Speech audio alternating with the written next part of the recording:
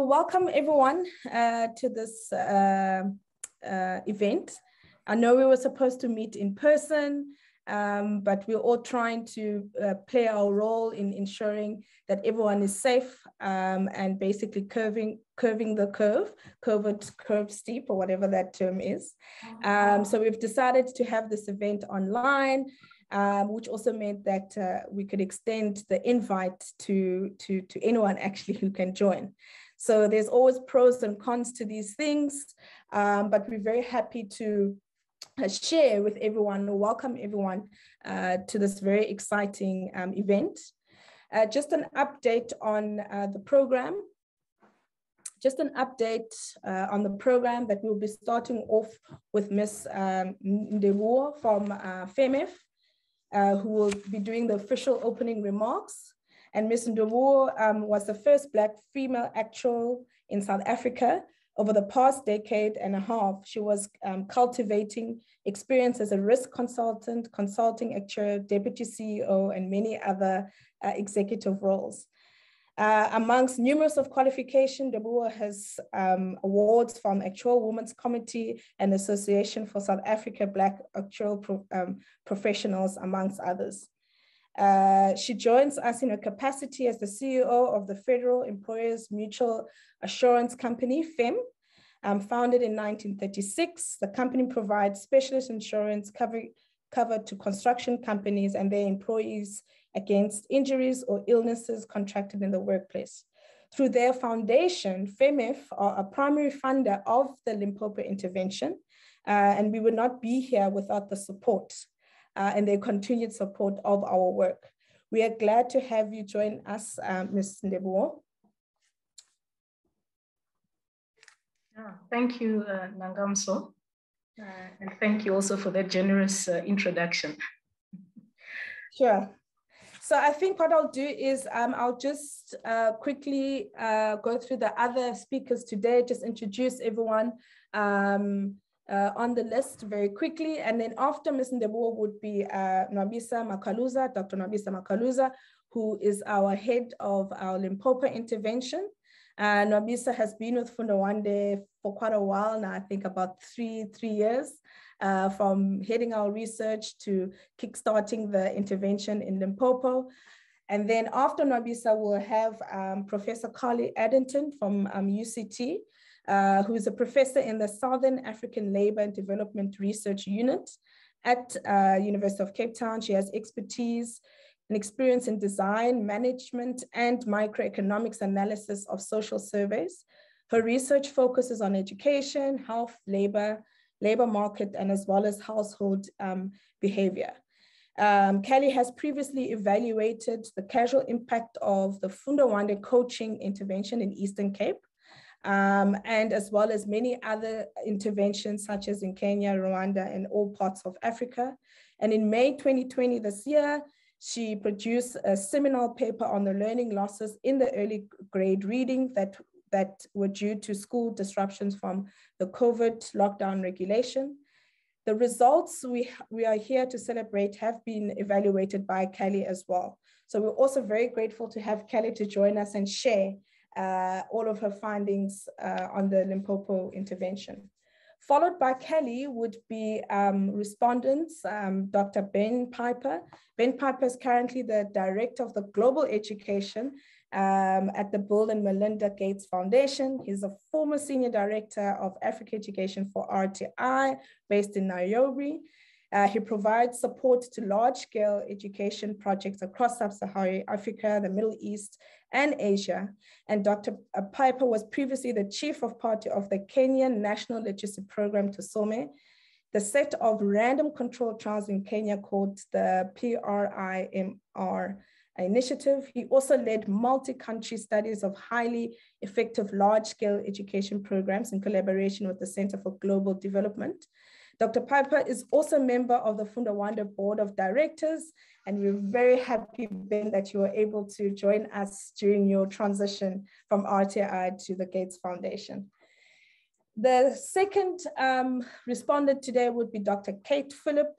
Uh, Dr. Kate Philip is a de developmental strategist with extensive experience in development sector as a practitioner and in the policy development space, which focus on mainly on issues of economic marginalization, inequality, and in employment and enterprise development.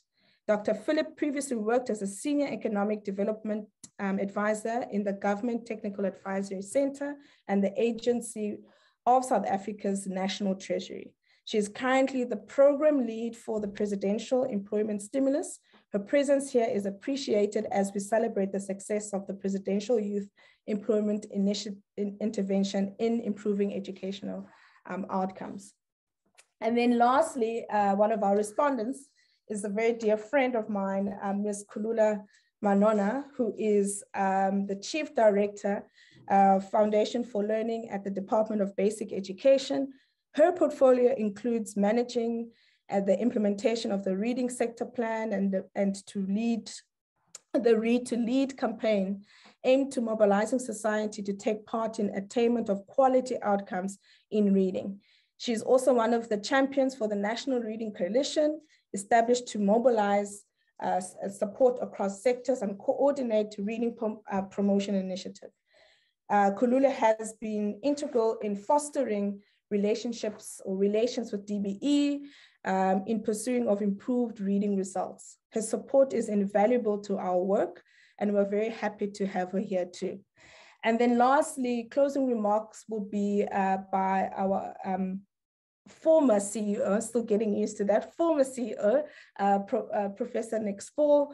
Um, and, and yeah, uh, Nic was the founder of, C, of Fundawande and now is moving on to uh, do stuff at Stellenbosch, continue research in the early grade years.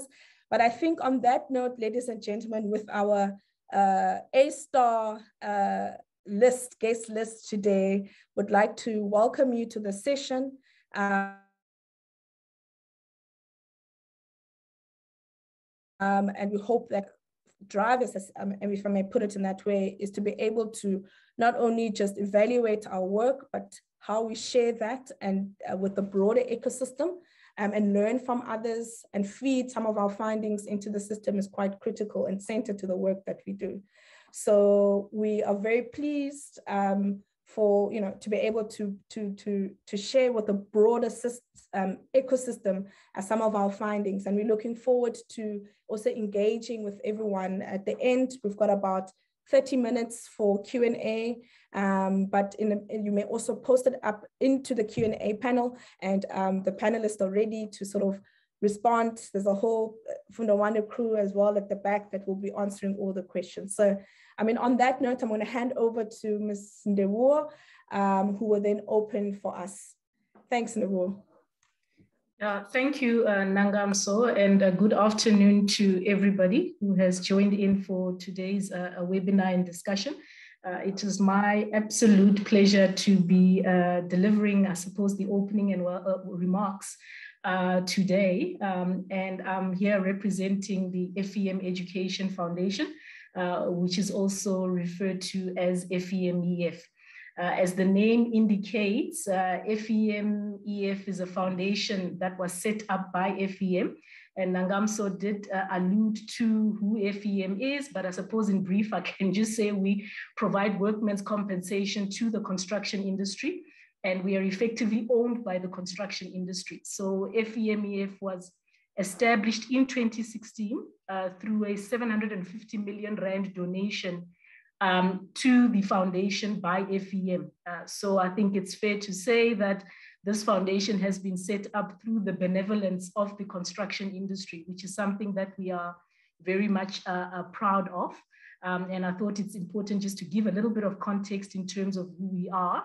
Uh, and our aim as a foundation is to partner with NGOs that are making a meaningful contribution in shifting education forward within South Africa. And it is for this reason that we partnered with um, Fundawande. And our partnership has been in place since 2018.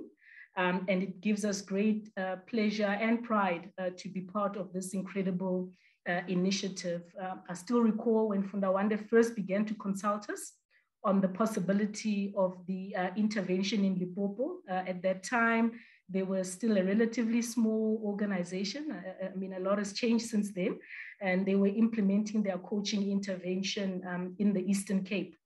So that was in early 2020 when they came to us with the Limpopo intervention.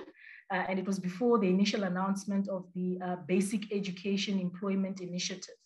Uh, and for us, what was really exciting was how ambitious they were in wanting to address the dual crisis uh, in relation to both the quality of education and education outcomes in South Africa and youth unemployment, while also adding a new province. And as FEMEF, uh, we have now co-funded the interventions in the Eastern Cape, Western Cape, and in Limpopo as well. And I think that bears testament to the belief that we have in terms of what Fundawande uh, is doing. Um, we are always keenly interested in how our investments not only impact our partners and their immediate beneficiaries, uh, we're also interested in scalable interventions that can impact the broader education system and that have an ability to be further leveraged uh, to solve the multiple challenges that we face as, as a South African society. Um, we also seek to invest in initiatives that are evidence-based, uh, that are practical, and that are aligned with national priorities. And I think we can all agree that uh, improving the quality of education outcomes is indeed one of the biggest national imperatives that we have uh, as South Africa. Um, Fundawande is a key partner of, of FEMEFs in realizing our objectives as a foundation. And we are so excited about the results of this impact assessment because they bear testament to the fact that we made the right decision, I suppose, in, in providing the funding that we, that we, uh, that we have provided. Uh, one of the perks of being a Fundawande partner is that um, we got to have some early insight into the results of the intervention in Limpopo and uh, the FEMEF board, I think it's about a week ago now, got to interact with both uh, Nangamso and, and Cally, um, you know, where they managed to provide us with some insights into the um, early uh, uh results of the uh, in, uh, monitoring of, of this um, intervention. Um, and we were quite excited about the, the outcome. Um, and uh, although as great as the results were and as excited as we were about those results, we know that the work truly begins now. Uh, it is crucial that Fundawande increasingly focuses on advocacy and system level take-up of the lessons learned from these interventions. And this is uh, more true given what we know now know about learning losses that have come through as a result of COVID-19 and the pressure that the education system is under. Uh, in this regard, we are excited to see the multiple different stakeholders represented in this webinar um, you know, both in terms of funders. I've actually got two of my colleagues that are joining uh, uh, today's webinar, civil society and government. And we hope that this is a sign of increased collaboration and alignment going forward.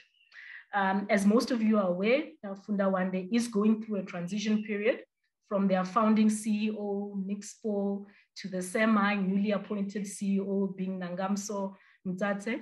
Uh, it has been an absolute pleasure for us as FEMEF working with Nic over the past couple of years. And indeed, we'll continue to work with him because we're doing other projects with him through uh, uh, RESEP, um, which, which are initiatives that we are also excited about. Uh, and I think if, if I have got one key message that I've taken away from the time spent with Nic is that, uh, you know, the best use of private funding is to influence uh, public uh, uh, funding and public discourse where education is concerned. And we've really tried to stay true to that as FEMEF. We are extremely excited about entering this new phase with Fundawande under the leadership of Nangamso and indeed with the rest of the team and are extremely confident that the ship is being steered in the right direction and by the right person. And, and we wish Nangamso and the team all of the best and we hope that these results that have come through from Limpopo are just the beginning of what is to come. So extremely excited to be participating in today's event and really looking forward to the discussions. Uh, thank you, Nangamso. Thanks, thanks, Ndobo. Um, and also thanks for the vote of confidence and, and sharing some of your uh, thoughts from a funder's perspective. And like I mentioned earlier on, I think, I mean, uh, we, we are funded by FEMF, but we also have other funders, um, um, the endowment, the Allan and Gill uh, Philanthropy South Africa, um, Zenex, um, as well as MSDF, so it, we are very pleased to have funders on board that um, believe in our vision and mission as Fundawande and support the work that we're trying to do. So thanks for, for that um, great opening, Deborah. Now I'm going to hand over to um, uh, Nwabisa, who will just, um, on a very high level, share with the crowd today the Limpopo intervention to, um, design. Um, and then after, we'll hand over to Cally. Nwabisa, over to you. Thank you very much, Nangamso, and thank you, Ndebo, for opening up for us. So um, yeah, I think I'd like to just uh, uh, start off with how really in coming to Limpopo, I really understood what they mean by the heartland of Southern Africa. This is the kind of saying that is carried throughout the province and truly, in times, in some of the most difficult times, when there are rotational timetables, where there are continuous closures in terms of, you know, the COVID pandemic, this team has really banded together in order to get the results that we have. And so for that, I'd like to first thank them. So to speak of the Limpopo intervention, I'd like to just say that one of the things that, as Ndebo said, is that we really, in our ambition, tried to tackle the dual crisis of unemployment as well as learner um, outcomes. And here, the core question that we were asking ourselves is, can previously unemployed youth be successfully employed in improving literacy and numeracy outcomes in foundation phase?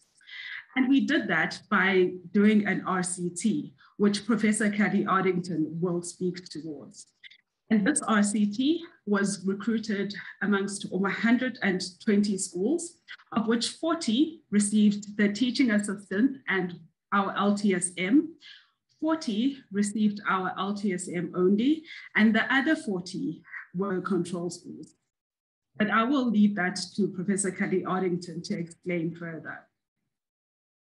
Our intervention is carried out through all, throughout the Capricorn district in Limpopo. So that is both Capricorn North and South.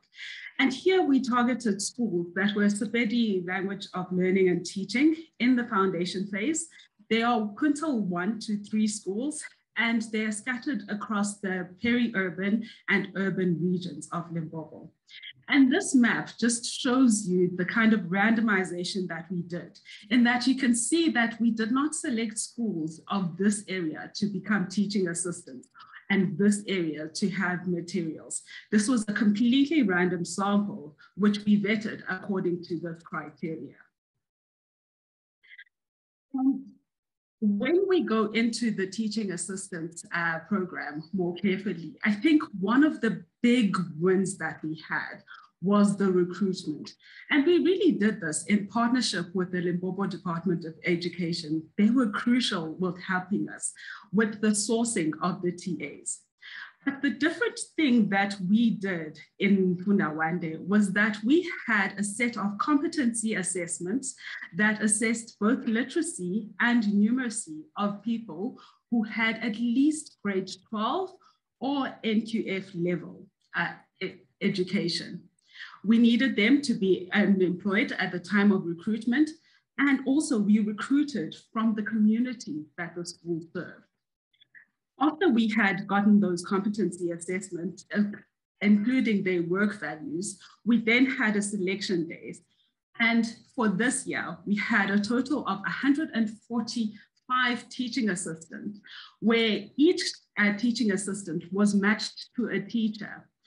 And each of the teaching assistants were given two days of training in literacy and as well as two days of training in numeracy. So that's a total of four days at each term. Now, the reason why we did this in such thorough, you know, recruitment as well as very thorough um, training was because our, our philosophy was that the teaching assistant should be of best assistance to the teacher. And so they should know the lesson intimately as we train the teacher so that they can best, they are best um, suited to help them. So what is the role of the teaching assistant that we gave them? We asked them to set up the classroom and to help the teacher in identifying and supporting struggling learners. We also trained them on how to revise materials uh, with learners, as well as to assist teaching with teachers with admin, such as roll call or marking. And what you find, especially even with the results, is that that extensive training that we did, as well as getting the right type of people to become teaching assistants, allowed for the results to be uh, much better in the teaching assistant arm. Our teaching assistants do not go out into the schools alone. They are they have a team of six mentors, where each mentor has an average of 25 TAs each.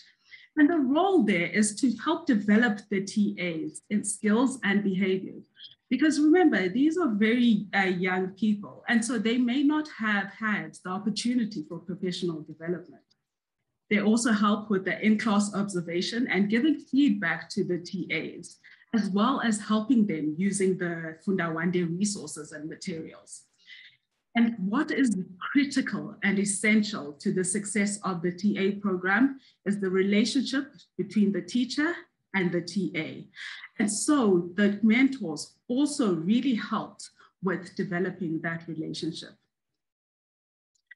The Day teaching assistants are trained on a structural program, a literacy and numeracy program. And so our content specialists here in Limpopo have helped us to develop these wonderful materials in which the teaching assistant gets the teacher guide. The material schools, just to note, uh, as one of the arm in the RCT, also got the full package of the materials. And the reason why we had those two arms, uh, just to recap, is that we wanted to find the effect of the Fundawande materials and centralized trainings, as well as giving people, uh, teachers, the Fundawande materials and centralized training, and then adding the extra helping hand, which is the TA. And that is how we should think of the result that Cally will also present. We also distributed the grade one Vula Bula anthologies uh, to, throughout all of the intervention schools. That is all AP pool. So another really good uh, intervention that we had uh, for the Educate, Department of Education in Limpopo was that we gave away five bursaries to the Rhodes, uh, towards the Rhodes course. And the Rhodes course is the advanced certificate in foundation phase literacy. It is the only one of its kind uh, that is offered, uh, and it is housed in Rhodes University. And so in partnership with the Department uh, of Education, the Provincial Department of Education, we were able to enroll five subject advisors, as well as the director of the foundation phase uh, learning. So it was within these, this uh, bouquet of interventions that we managed to get the results. So here, I want to actually pause on this so that we can delve in deeper with the really the big meat and potatoes in terms of our learnings uh, that we got from the teaching assistant. So in addition to this rigorous recruitment, eh, like, okay, so if I if you would ask me what were the things that you know were the best learnings from this teaching assistant model, I would say that it's effective recruitment and training, school and teacher preparedness, as well as acknowledging the limited time for remediation and play with the learners. So I will go through them in turn. So with the effective recruitment and training, this was actually done um, when we had our first uh, cohort of TAs. It actually coincided with the broader um, Presidential Youth Employment Initiative, where the DBE itself had recruited TAs, uh, and that was for a period of four to five months. Please correct me, uh, and I'm sure you will, uh, Mrs. Manona, uh, at the end. But with this, then, we also were doing things in parallel. And so there were very interesting learnings that we got there. The recruitment that we had resulted in 120 applications, of which only 256 made it to the selection day, and then 145 was selected to go into school. So quite a lot of people did not make it through the numeracy and literacy assessment, as well as then at the end of the 145 um, TAs that we got, about a third of them have a post, uh, post-matric qualifications. So we really did get the cream of the crop in terms of in the unemployment line.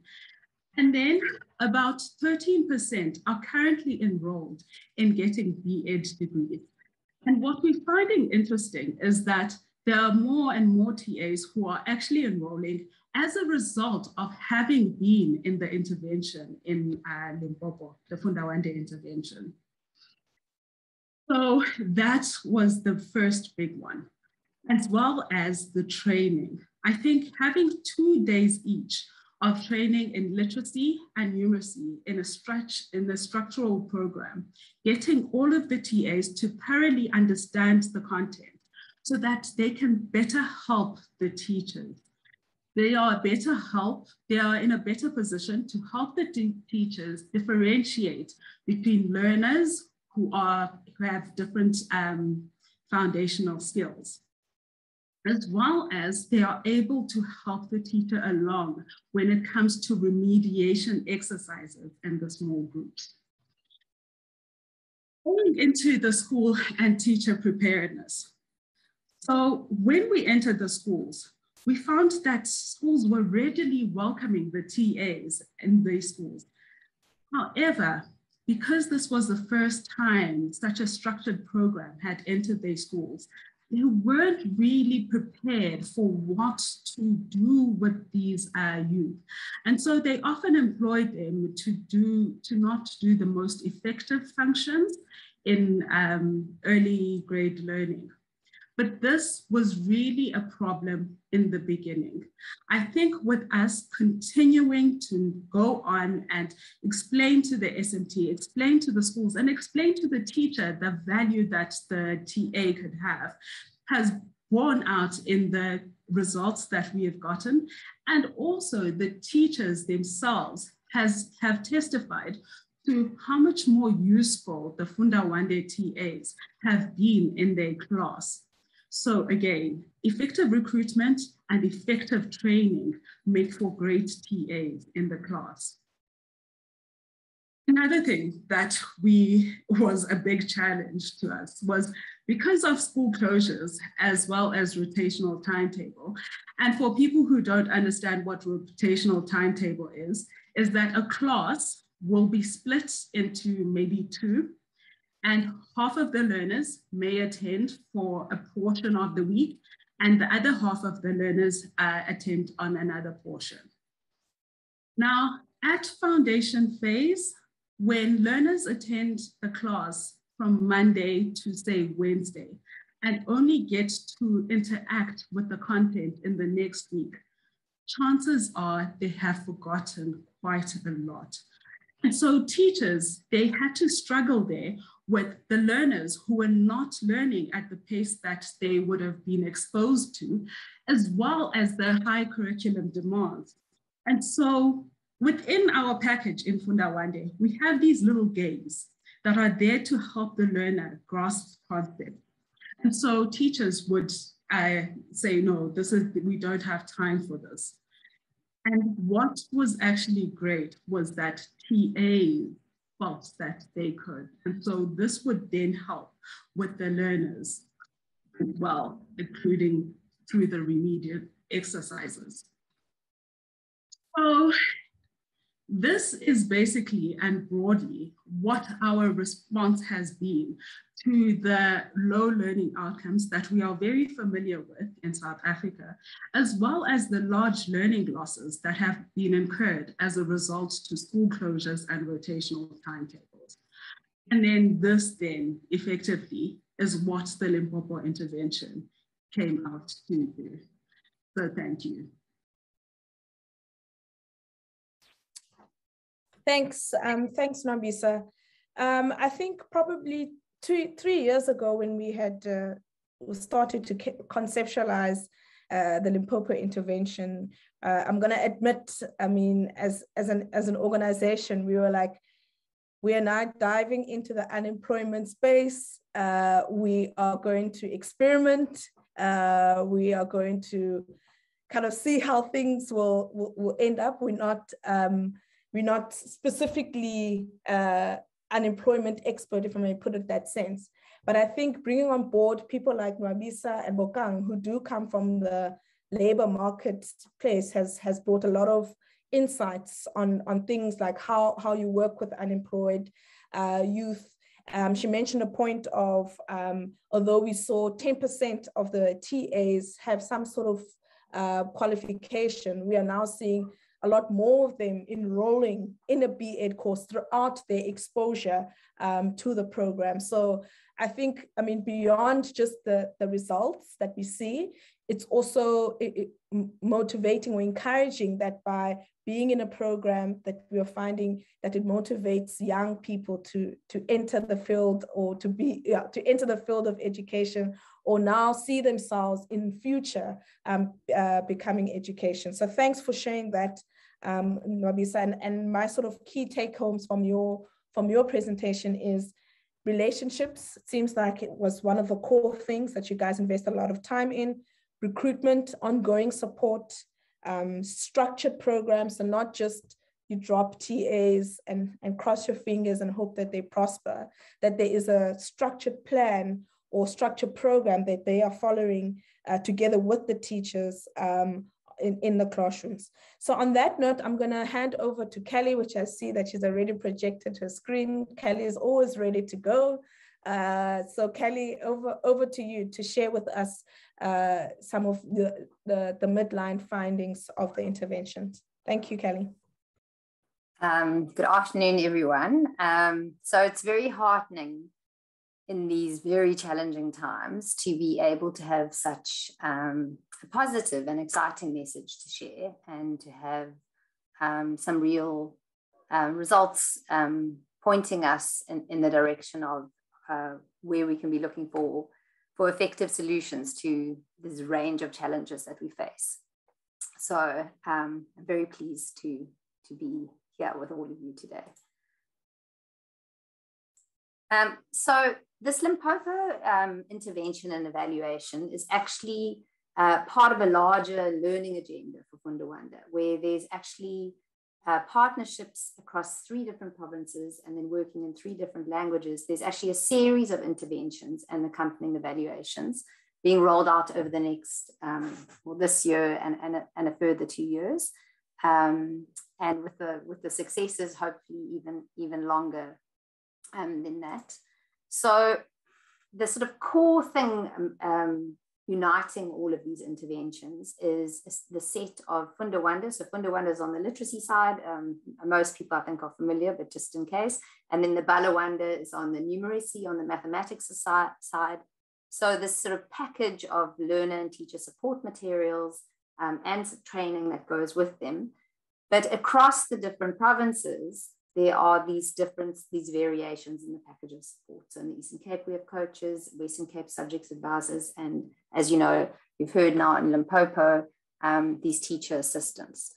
So I am at SALDRU at the University of Cape Town, and I've been tasked with conducting an independent, independent impact evaluations of each of in each of these provinces, but also trying to, you know, iteratively collect, connect the learnings um, both within province and across province. And so quite a bit of fo focus on, in general, across all of them, the primary aim of the, the, um, the evaluations is to answer the question, is, is Fundawande effective in uh, reaching its goals, which are to have all children reading with meaning and all children calculating with confidence by the end of the foundation phase. Um, but then there's a, a, sort of secondary aim is really to try and understand the effectiveness and the cost effectiveness of all these different modalities of support. So um, coming to Limpopo, uh, one of the sort of key challenges across low and middle income countries that teachers face is large and heterogeneous classes, classes where many of the learners have fallen way behind the curriculum. Um, and in other contexts, uh, including Ghana and India, uh, policymakers have attempted to use either teacher assistants or youth volunteers um, to, to help teachers with classroom management and provide sort of additional small group and, and one-on-one support. Um, so in the South African context, and then in Limpopo even more so, um, huge class sizes are, are, very prevalent with over 40% of learners in classes of more than 45 learners. This is obviously pre, pre-rotational timetabling due to COVID. And we have an enormous unemployment problem with the burden predominantly felt amongst youth. Um, so 76% unemployment rate. Another way of thinking in South Africa at large, one in three 15 to 24 year olds is in NEET. They are doing that, not in, in education, they're not employment, they're not in training. Um, and so the, the question as, um, you know, has, has already been, been uh, um, pointed out that this Limpopo intervention is really focusing on, is it, is it possible to recruit, train, mentor and support unemployed matriculants within a structured program such as Fundawande with these learning and teaching support materials to improve early literacy and numeracy outcomes.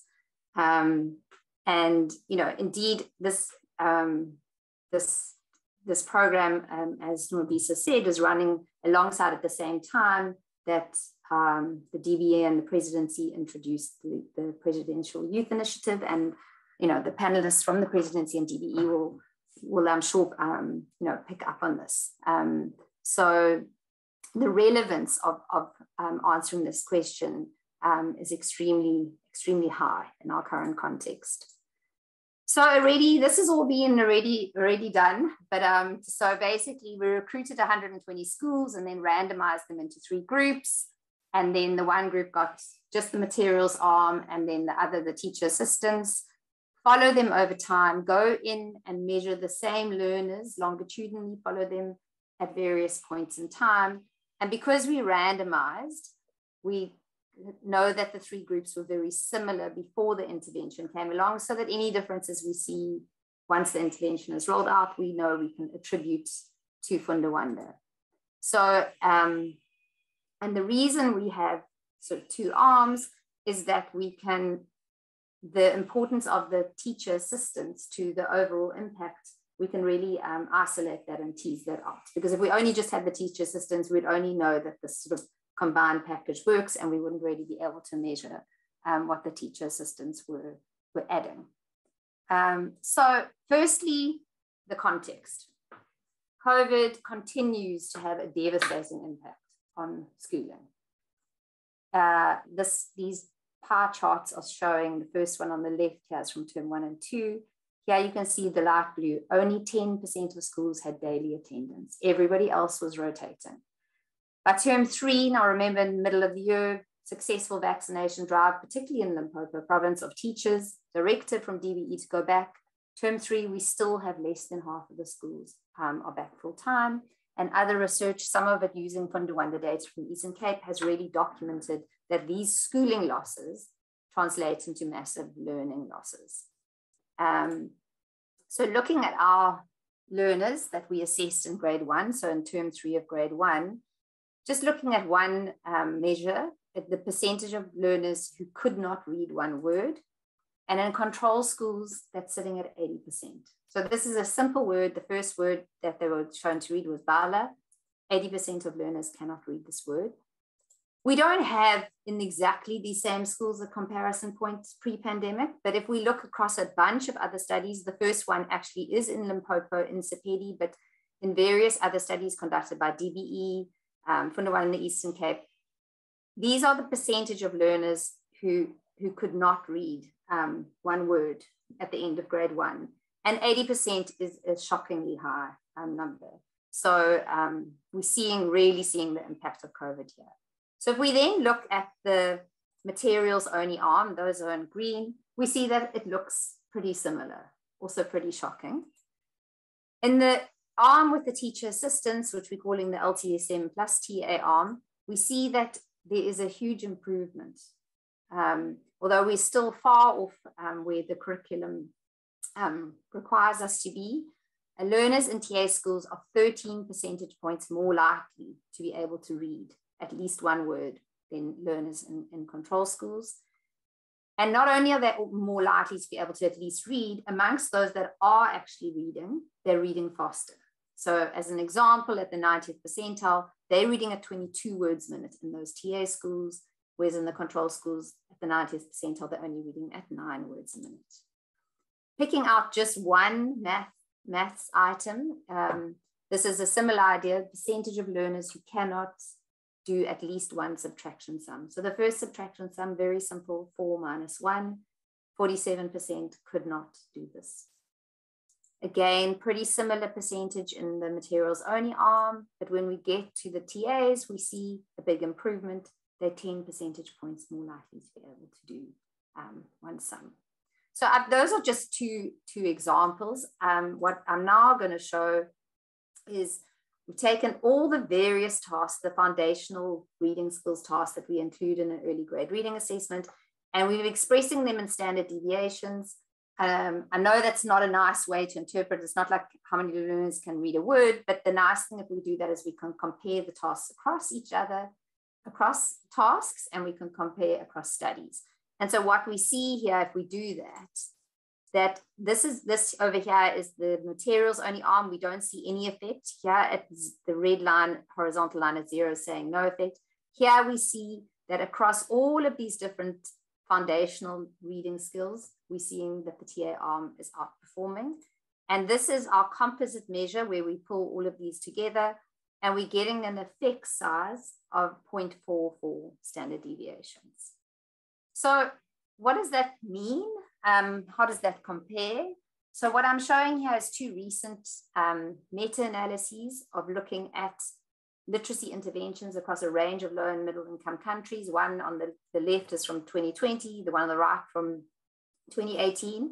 And I'm going to now um, click my mouse and you're going to see where um, the 0.44 standard deviations that we're observing in Limpopo fits within that. So we can see that it is on the large side of effects for both in terms of both of these uh, meta-analyses.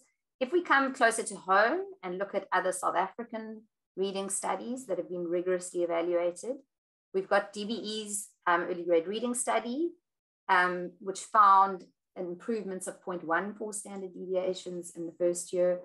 And Fundawande's own uh, Eastern Cape coaching intervention found improvements of 0.19 standard deviations. So if we move on to looking at um, mathematics, we had a range of assessments here because we were worried um, about flow effects, especially with COVID. So we had one-on-one, very sort of early numeracy um, uh, assessment. And we see here, we're seeing significant impact on these sort of procedural tasks. So this is like counting aloud, um, concrete counting, ordering numbers, and so on. We don't see sort of anything going on with the more sort of conceptual stuff like um, short, um, sorting, um, pattern completion, etc. Um, however, it must be said that these, these sort of first three tasks, the counting aloud, number order, concrete counting, dominate the CAPS curriculum. And although teachers, we did ask them, they're very unlikely to say that they're skipping material in order to catch up due to COVID. But um, we do wonder if perhaps across all the classes, these sort of smaller parts of the curriculum um, are being left out. And then we turn towards a group administered early grade maths assessment. And here we're seeing across the sort of the quantity comparison, the simplest task, we don't see a significant difference, but across all of the others, we're seeing um, significant differences. And so just going back into the sort of standard deviation effect sizes space, we're talking about effect size on the composite thing of 0.22 for um, early numeracy and for the IGMA of 0.38. So in the South African space, there's no um, similar studies like DBE studies, and uh, there are some smaller studies that uh, suggest effects, but they haven't been rigorously evaluated. And the whole numeracy space, there aren't these review studies. Um, you know, it's sort of a little bit behind um, the literacy space.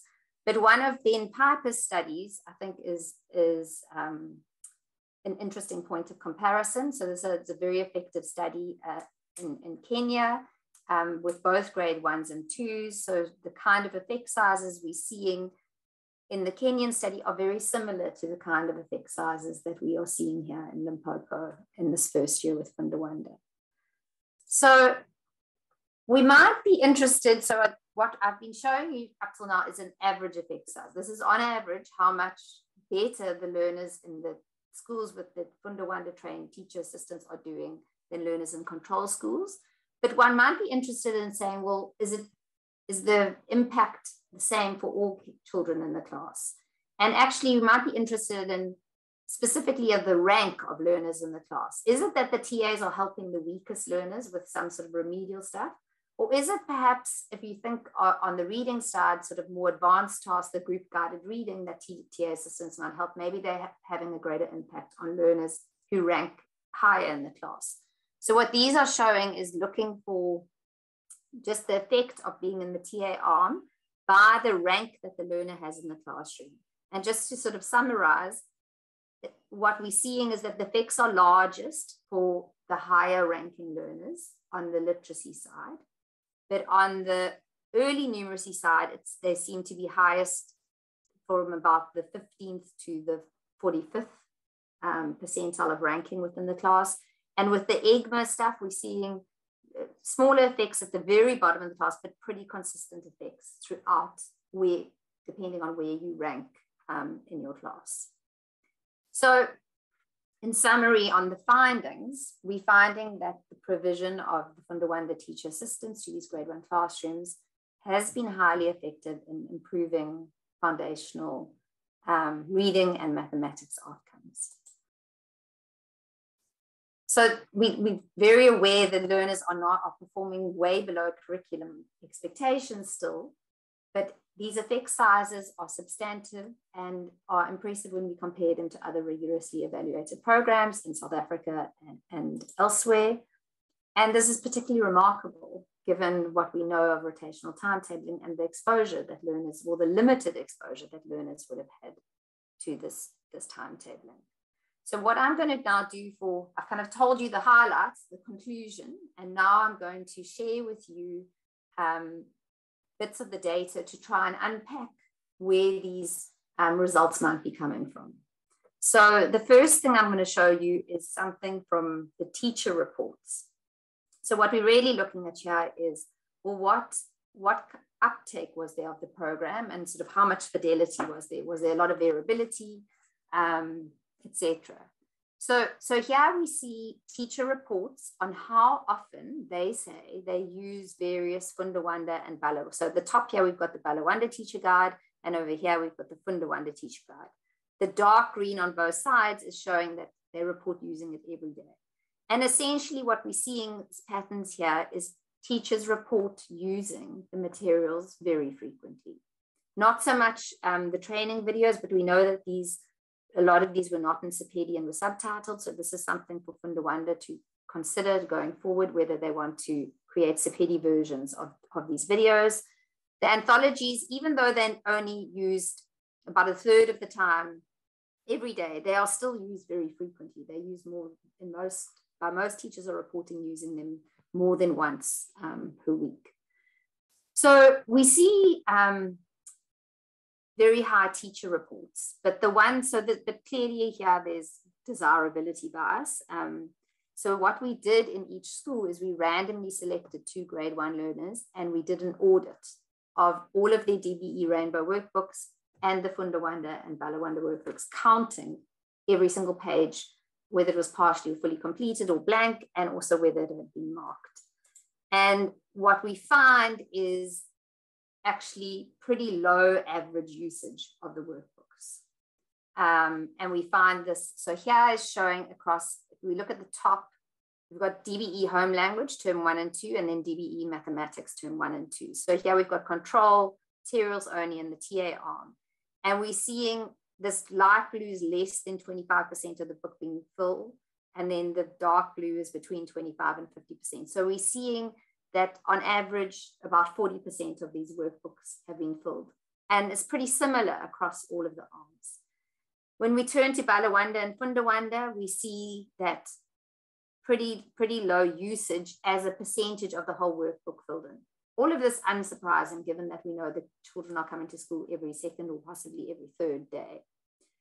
One thing to bear in mind, particularly with interpreting this Fundawande, the, the learner activity booklet all the stories are integrated in there. So these, this is the percentage of exercise pages where the learner could write something.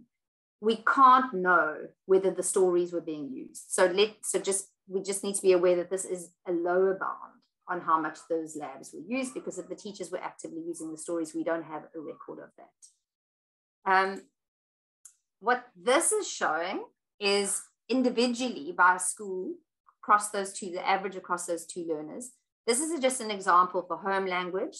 So the light blue is showing how many pages in total in the DBE rainbow workbooks had been completed. And then the dark blue is showing in the Fundawande lab. And I think a couple of things. Firstly, it's very clear that the Fundawande and Balawande labs are being used as a complement and not a substitute for the DBE workbooks. The DBE workbook is looks the distribution looks pretty similar across the three arms. Um, so therefore, we have substantially more work being done in terms of how many pages learners have filled in, in both the materials only and the TA arm. But we see enormous variation in each arm with some schools, and if we focus on like treatment schools, where very little work um, has been done. And we see this, so this is a, this is a challenge in terms of getting much more greater uptake and uniformity of uptake um, for Fundawande going forward. So this is the literacy, but the maths patterns are very, very similar. So clearly, we're not seeing big differences between the materials only arm and the TA arm in how much of the workbooks were used. So that can't really be driving the results that we see. So we now turn to look a little bit more to try and see um, what we can from our data in terms of what might be driving the impacts. This is showing for um, un unprompted teacher reports of what they say the role of the TA was in assisting them um, with. So for the non-TA arm, these are people referring to having had a, one of the DBE educator assistants in their classroom.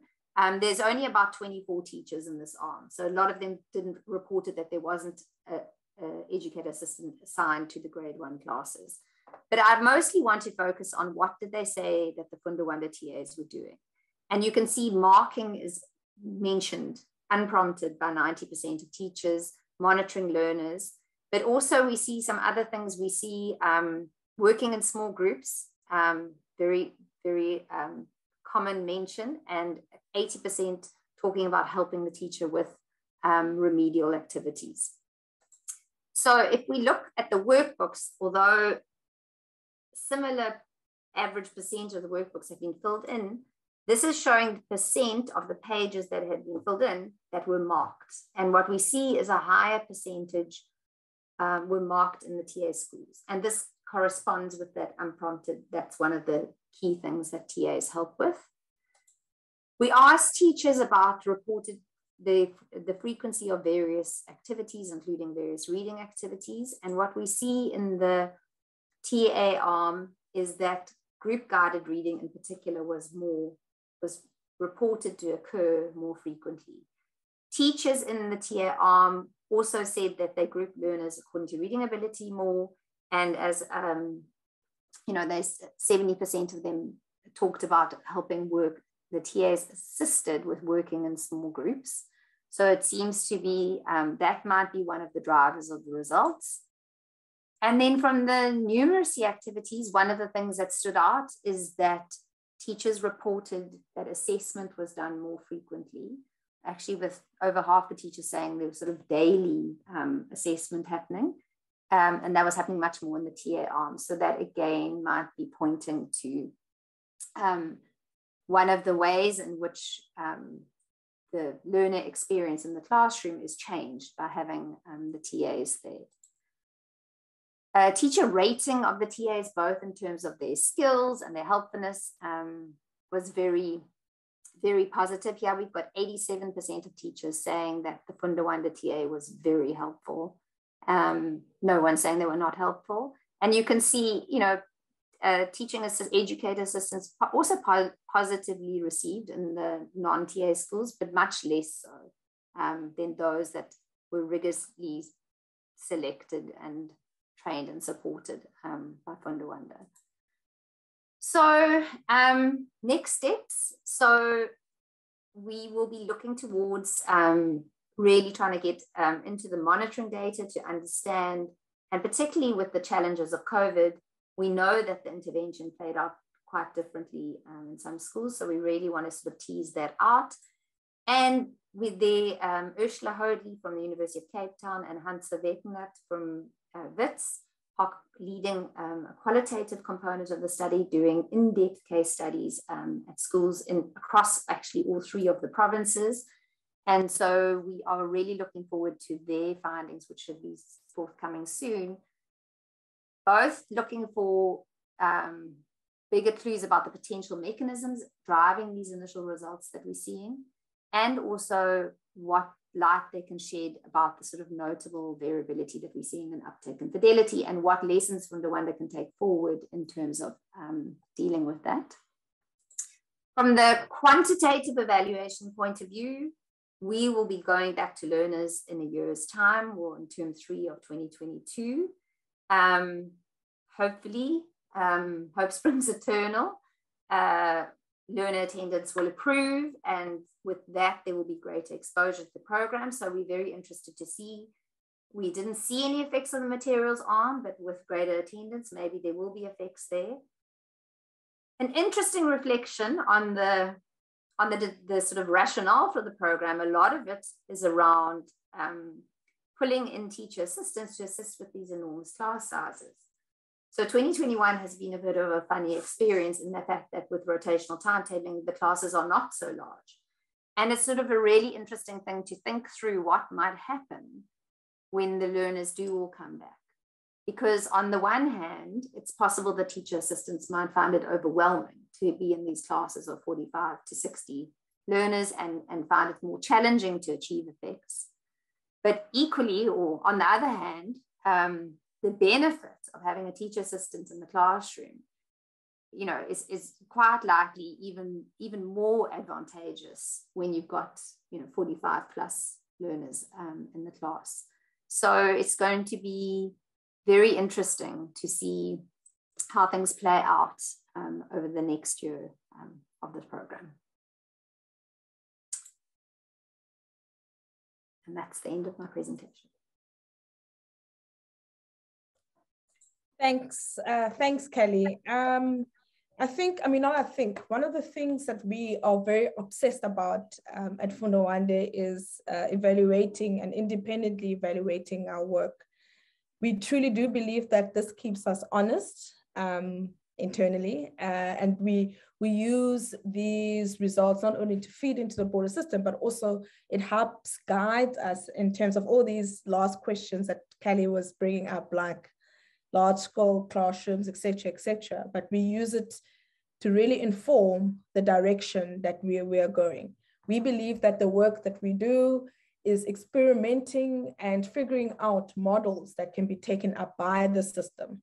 Um, so, you know, for us, com committed, committed or being committed to ongoing evaluation is very, very, very critical. Um, so now I am going to hand over to Dr. Ben Piper, who will be the first respondent uh, to uh, the, the intervention and the results uh, that was shared. Over to you, Ben.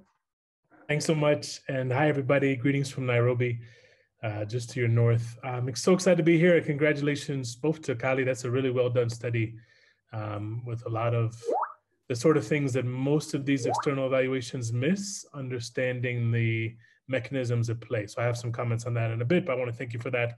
But also to the Fundawande team. Um, congratulations on having uh, meaningful impacts. And in fact, I have you know five five comments, and that's the first one, is just to say that it's worth noting, as Cally said, that these are meaningful impacts on learning. The 0.44 standard deviations, 0.38 standard deviations are substantial and large from an international perspective uh, on learning outcomes. And I, actually, I did a paper a couple years ago on kind of the magnitude of impacts, and this study, if it had been available, would have been included. Um, and Dave Evans recently did an analysis of effect sizes in the education sector.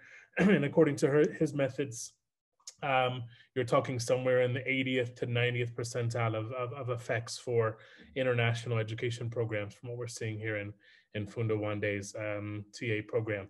And as Cally said, also that, you know, there are other studies that have similar effect sizes. You mentioned the PRIMR ones here in Kenya the math results. And I think the comment I'd like to say about those is that those results from PRIMR that were achieved in kind of a similar uh, medium scale intervention actually then got scaled up nationally. And just want to be have the people on the call thinking about the implications of this these results for Balawande and the numeracy side.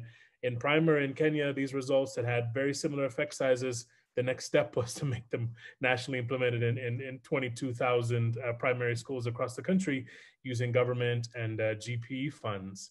Um, and so what are the implications for us? If we're actually talking about some of the largest impacts on numeracy, uh, these sort of interventions, what should we do? And the question really is, it, is there urgency for change based on these results? And if not, why not? so that's the first comment, meaningful results on learning. Second one is just to really push on this issue of of the mechanism for change. What's the mechanism for the improvement? I know that's coming from the study uh, that we're waiting on, but it's really useful, I think, as somebody who's who loves the quantitative side of it, but also sometimes the qualitative is needed to understand and uh, kind of explicate what's actually happening. And I'm, I'm a big proponent of the Funda Wande and Balawande materials, but it looks like from this evidence that it's not the utilization of those materials alone, at least in this kind of 2021 uh, uh, weird year, because there actually wasn't much difference in workbook use. There wasn't a lot of difference in teacher's guide utilization. There wasn't a much difference in kind of the, um, the anthology work. Um, so maybe it's these sort of things that Cally mentioned are kind of differences in the two approaches in that very interesting bar graph you showed that the, the, this time spent on remediation was higher in the TA's arm the time spent where the TA actually was teaching had a difference. Uh, the use of small groups uh, was, was different between these groups and the use of, of math assessments. Now, if you think about kind of how that actually would play out in a classroom, these sound like potentially relatively small changes in daily pedagogical practice. But kind of the key point I want to say is that maybe those small changes can actually have meaningful impacts on, on learning, that there's something happening with a little bit better teaching, combining the teacher and this TA, that can have a, reason, a, a meaningful impact on learning outcomes. Another way, another potential mechanism I'd love to see what the qualitative results say, is it might be that the combination of the, the, the utilization of the Funda Wande materials plus these additional TA activities kind of creates a multiplication factor. We're not seeing a fundamentally different amount of time spent using the workbooks, but maybe the combination of workbooks with a little bit more grading gives the student, uh, the learner, a little bit more feedback on their performance, and that combination might result in better outcomes. But I really think as, as researchers, as people interested in education in South Africa, understanding the mechanism for change from this particular study is really important because what, if we're thinking about scale up, or thinking about the implications for Funda Wande implementation going forward and for Limpopo as a, as a province going forward, understanding what that mechanism is, is, is really nothing more important. So I, am a, I'm a discussant um, respondent, so I get to push a bit. So I want to push my colleagues at Funda Wande. I'm on the board there, but I, I want you to hear me on this. What is it that we need to do to redouble our efforts to increase the utilization of the workbooks and the teacher's guide. Obviously, 2020 was weird. The, the rotational timetable really disastrous with respect to um, classroom and, and, instructional time. But what are the things that are in the control of Fundawande, or probably more importantly, in control uh, in, in, the control of Limpopo, that could actually improve uh, the utilization of the materials? We had some other data from internal Fundawande results that actually showed that the utilization looks a little bit lower in Limpopo, Limpopo, even within these two treatment groups.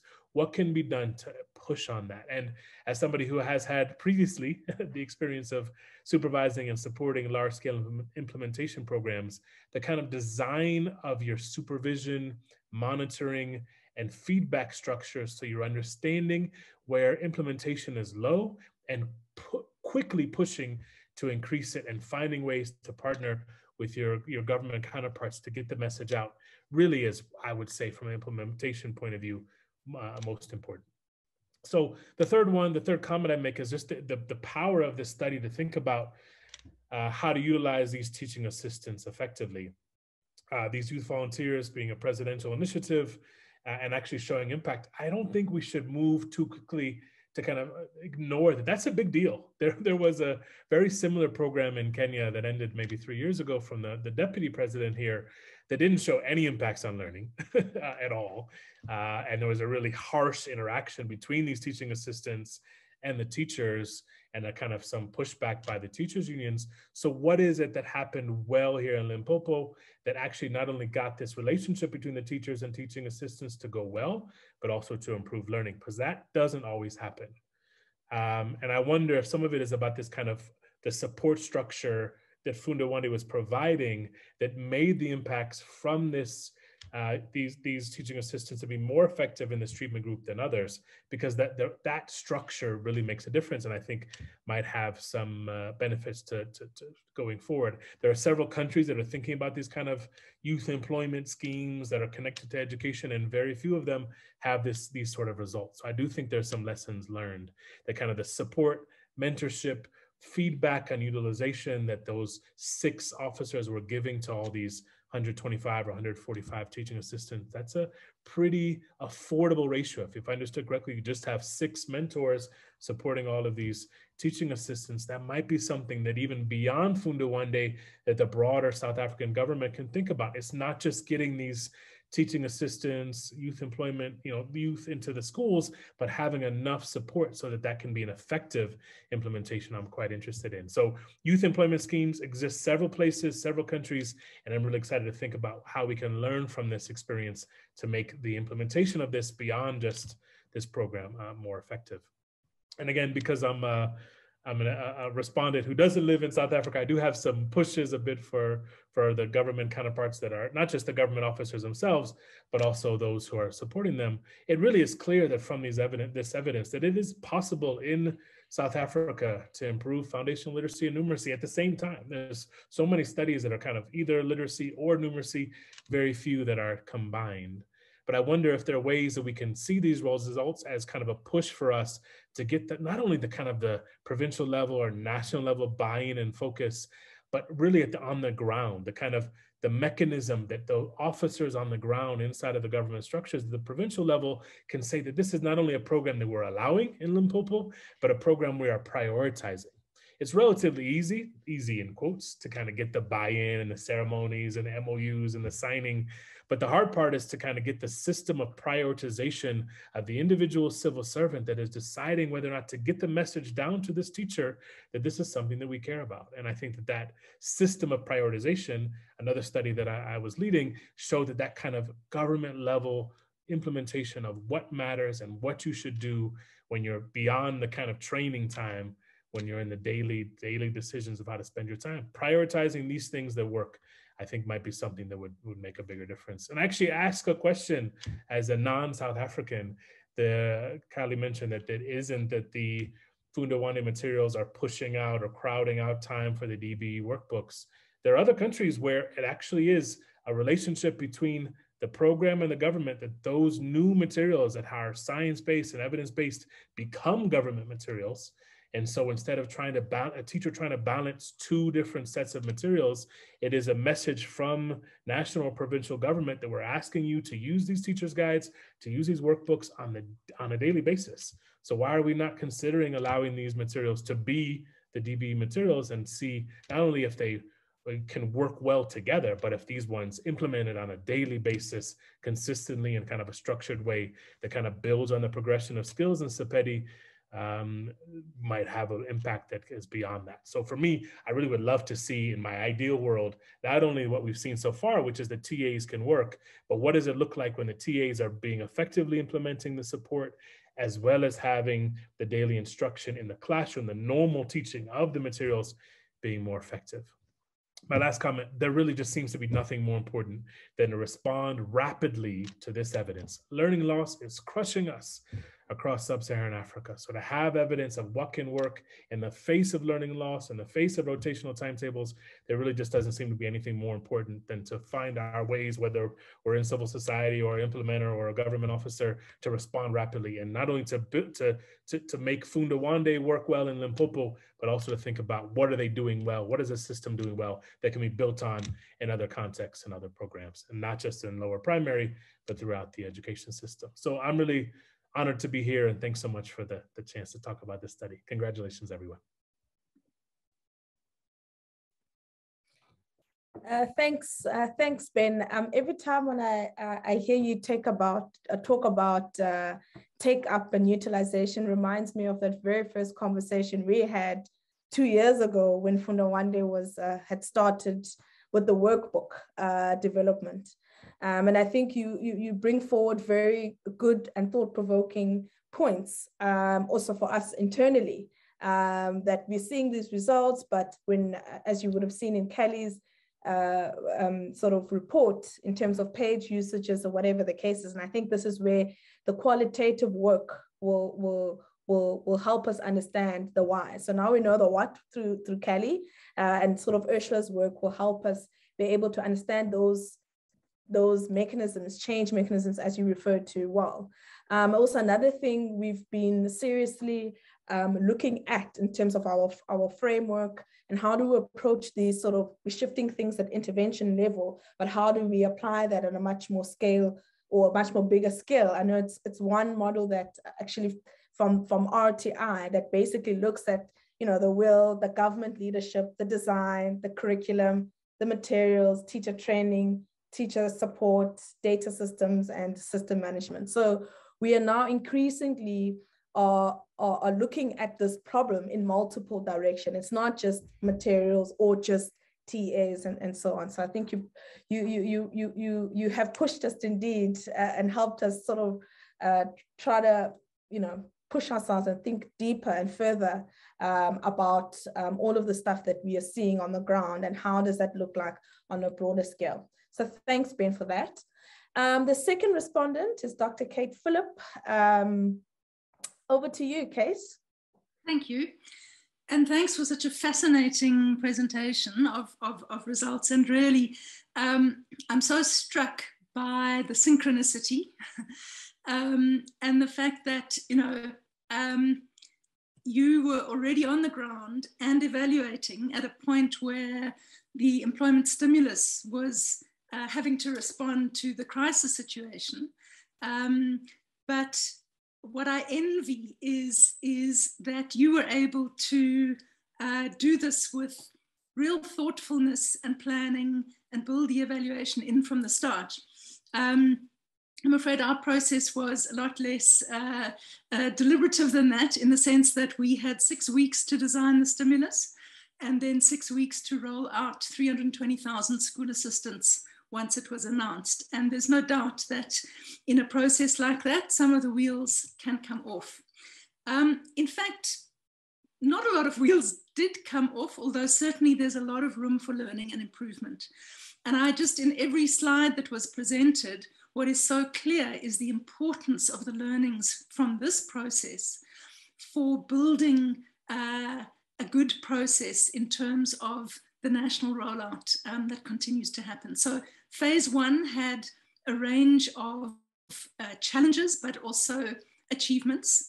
Um, we are really excited that there, it has been possible to have a phase two because when the stimulus was first launched, the message was very clear that there would only be one phase. Um, this was a once off. It was in the end five months.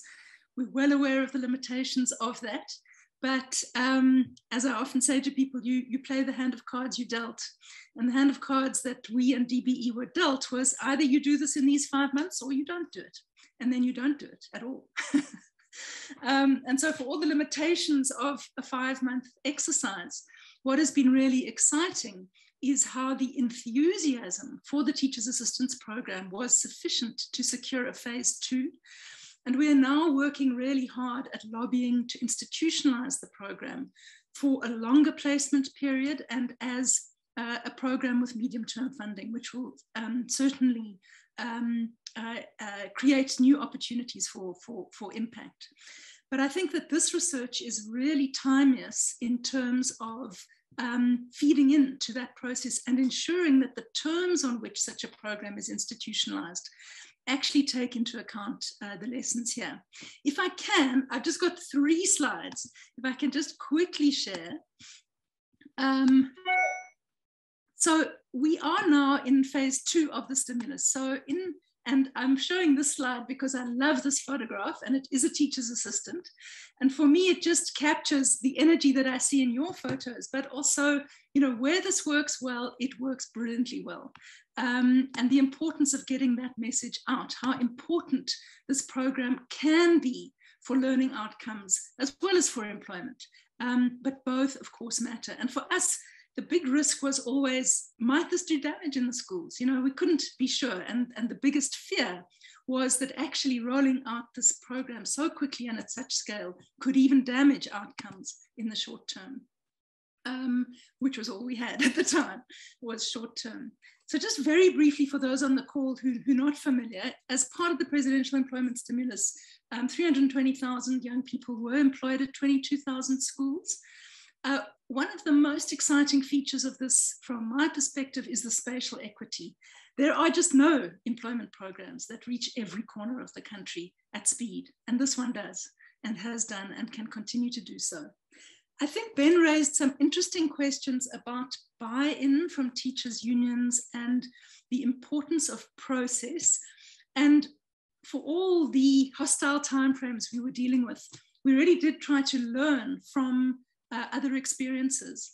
Uh, and part of that learning was the importance that the locus of decision making and control needs to be at the level of the school, so that it is the schools that select the teacher's assistants. And although um, in phase two, there's a lot of emphasis on improving the selection process. Uh, in phase one, graduates were prioritized for the teacher's assistants, and everybody had to have a matric if they were going to support in the classroom. Um, there was a strong emphasis on training to support curriculum outcomes.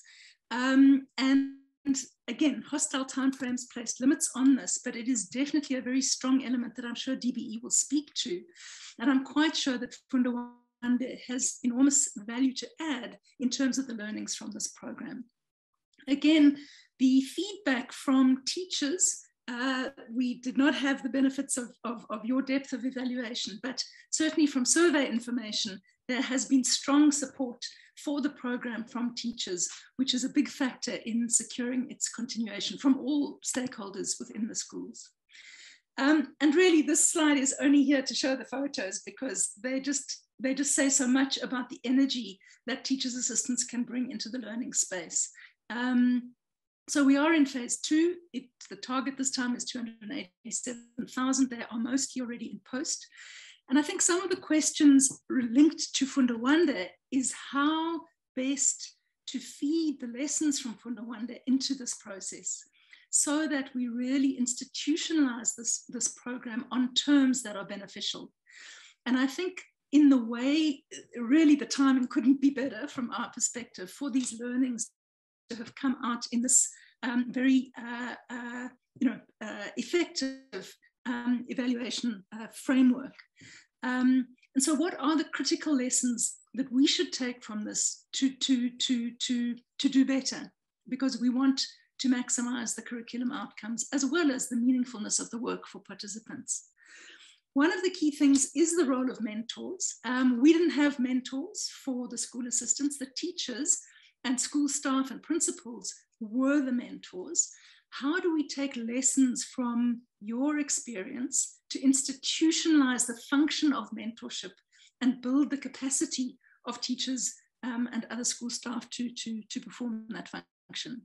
Um, yes, I, I mean, I, I, I also the, the question of how one takes the supplementary learning materials to greater scale, what lessons one can take um, from, from, from that, how critical. Uh, I mean, the one thing the study doesn't do is look at teachers' assist without supplementary learning materials. Um, and it seems to me that that's a really important dimension actually, um, and that we need to look at how, you know, what, what combination of, of inputs is, is optimal um, and you know, we are typically working in suboptimal conditions. So when you are working in suboptimal conditions, what minimum intervention can add the most, the most value? Um, so these are all critical questions that I think arise uh, uh, from the work. But the bottom line is that, um, you know, this work couldn't be more timeless from, from a policy perspective. Uh, it has the potential to really help augment the case for institutionalizing um, a teacher's assistance program. And I think many of the ingredients of strengthening such a program um, arise from some of the evaluation outcomes. So congratulations to the team and really just to express strong appreciation for the fact that you were ahead of the game here uh, and you had not only a program but also an evaluation in process uh, for results to come out um, so timelessly for the wider debate in this space. Uh, so thank you and back to you. Thanks, thanks so much, Kate, uh, for for your thoughts um, on that. I mean, one of also uh, one of our sort of values to say we always see ourselves as the people that burn our fingers first before government does. So here's a great example. So we have burnt our fingers. We have had to, you know, sort of figure out the things and and also, I mean, in particular coming into this new phase of Fundawande, a very big theme of ours is to also to, to do responsible advocacy, right? Things that we know that works. Um, instead of you know advocating for things that you're like, oh, we're not sure. But here is a good example of one us probably being ahead of time could be beneficial to the program. Um, you know, we've burnt our fingers and now we've got pieces of this Broof case. Nwabisa chatted about all these various of things that were inputs of the intervention that know that we know now and have evidence that it works. Um, so we we are looking forward to to to continue to work uh, with the presidential youth stimulus team and to continue to share our findings and you know really uh, we see this as a collective issue if I may put it in that sense. Um, but also now we'll hand over to Ms. Khulula Manona, which I know that we've been working closely with her team in the Reading Champs, another example of, uh, of some of these small mechanism changes um, um, has been incorporated in various of ways, small ways, um, within the broader sort of initiative. So Khulula, uh, over to you.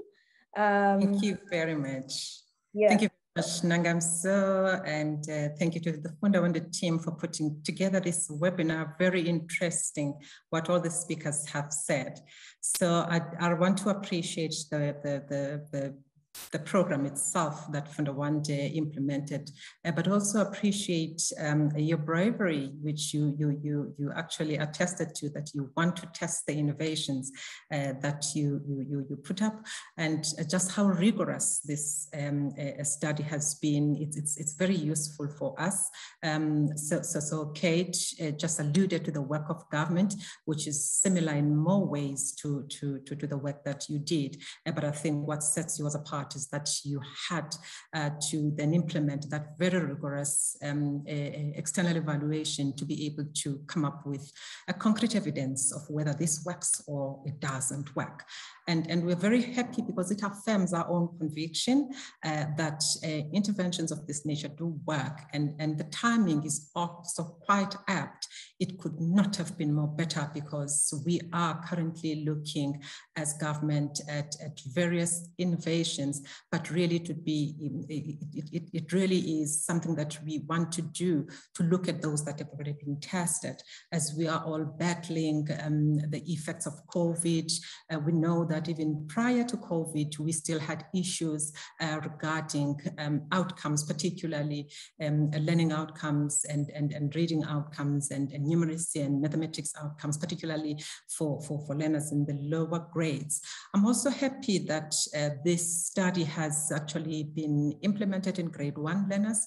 Uh, we know actually where we stand when it comes to grade one learners in, in, in terms of the deficits uh, that they come to schools um, already um, exhibiting uh, just thinking about the general household survey, uh, which looked at access to early years, uh, particularly for children aged zero to five uh, who come from, from, from, from low income um, households, uh, that we have about um, 2.2 million of those learners who have not had access to any early learning um, opportunities. And so, so, so the age cohort that you came in and just did that study in to show um, what would work if we were to consider the various contexts of our country, including um, the fiscal constraint context of this country. And I think what this also does is to um, is a reconceptualization. I'm, I'm, calling it a reconceptualization because teacher assistant is a concept, it's not something new. Uh, uh, but to be able to think about it at the scale at which we are implementing it, and, and, and also to be able to put on the table these very convincing results. Uh, actually, it drives us to rethink what we um, uh, have in our heads, or the idea we have in our heads as what should uh, constitute a teaching and learning workforce. Uh, and, and, I'm, and I'm calling it a workforce because we know I've just spoken about the fiscal constraints that we cannot afford as the country at this point in time uh, to have an extra pair of hands for a teacher uh, in the form of a fully employed, uh, trained um, a, a teacher assistant or, or, or, or, or or, or, any kind of a, a, a, support that would come in that fashion.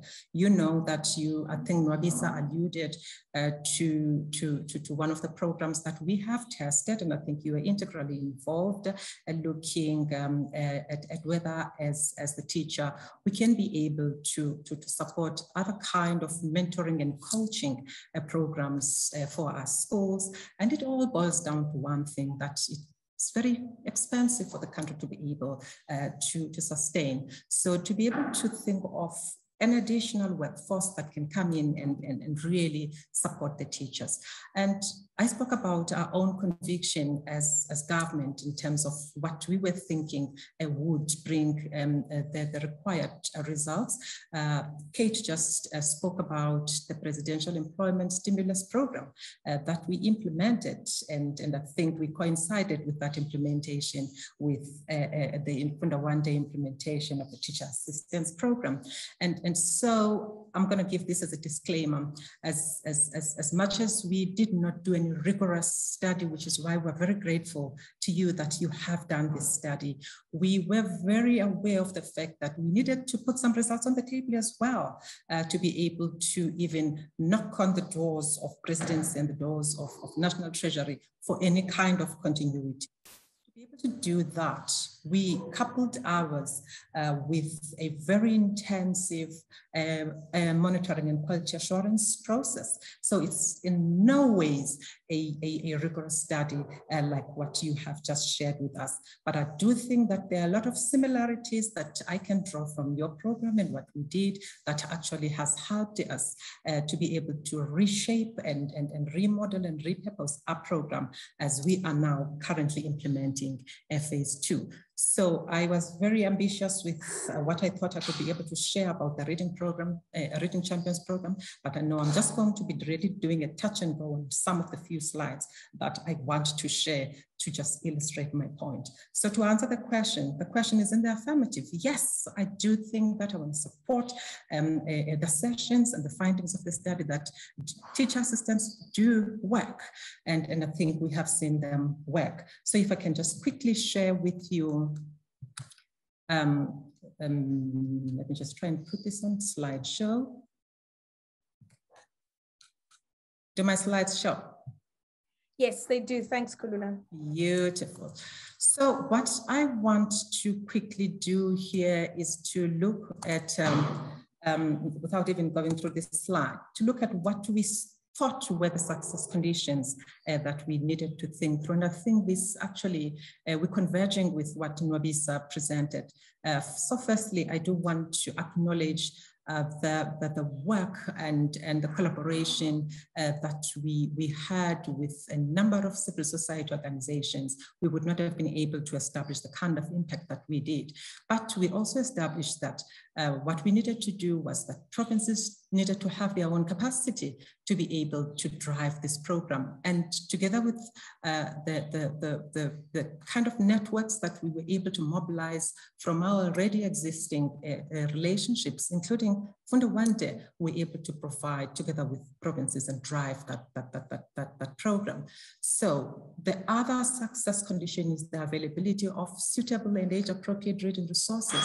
And, and I think that's what you were able to, to, to provide as part of this program, um, uh, uh, where you supplied LTSM and in some schools, of course, LTSM uh, coupled with a teacher assistant. The welcoming environment in schools, and I think it's something that is very common and the uh, within which these teacher assistants, in our case, are reading champions, had to work and the support as well as the resources that needed to be provided uh, to, the, to, the, to the reading champions in our case. Uh, so just to uh, step back a bit, the reading champions are part of that 320,000 odd that Kate uh, um, uh, just referred to. So what we did as a Department of Basic Education was to look at that number and divide it into five categories. So 22, 23,000 of those um, were channeled to be reading champions. So when we're talking about the support, we're talking about ensuring that they do receive training, they do receive um, training resources, they had data, and they, that they should have been mentored. And again, um, and, um, um, I was happy to, to, to, to listen to Kate, um, perhaps uh, being very honest about some of the shortcomings. Uh, so one of those shortcomings was that we could not be um, able to provide a very intensive mentorship program. We relied on, on, on a few uh, reading coordinators and, and a few, and, and, and just a very lean capacity in provinces to be able to supply and provide that kind of mentorship, as well as the teachers, whom themselves were very busy trying to chase up after um, the, the trunk, already truncated uh, um, uh, teaching plans. Uh, so, so, so that was not really a, a very successful uh, a, a part of the program. And also to have the correct quality and quantity of candidates sourced uh, to be part of these reading champions. Again, given the time constraints that we had, uh, this was one of those that we find ourselves, found ourselves having to work with what we had. So um, I've, I've, spoken about the training manual. So this very intensive monitoring and quality assurance program that we, we, we did, uh, we, we, we tracked the, uh, the implementation of the program over a period of four months, uh, but up over a period of four weeks. And you may recall that even the school started very late last year because I think COVID was quite rampaging and everything had to be pushed back the time they had in the classroom was quite limited. But what we did, given the lemons that you had, was to decide on the kind of the flavor of the lemonade that we had to make. So if we were to do an intensive quality assurance, what is it that we wanted to do? We decided on the tangibles. Is there a drop all and read period in the class, in the school? Um, are there any resources in the school? Are there spaces that they could convert into, into, into libraries? How many corner libraries did they implement uh, during their presence in the schools? And uh, what is it that they were doing uh, in terms of preparing learners and, and just introducing the culture of reading and the enjoyment and the fun component of reading in working with their teachers? How were they going to ensure that parents became more involved uh, in the reading development of their children? Things like having a reading log card, ensuring that it is signed by the parent and that children were given books and children were given opportunities to initiate reading themselves. And we also also were interested to know uh, the context of the school, whether they were following a rotational uh, timetable, and this is what that slide talks to.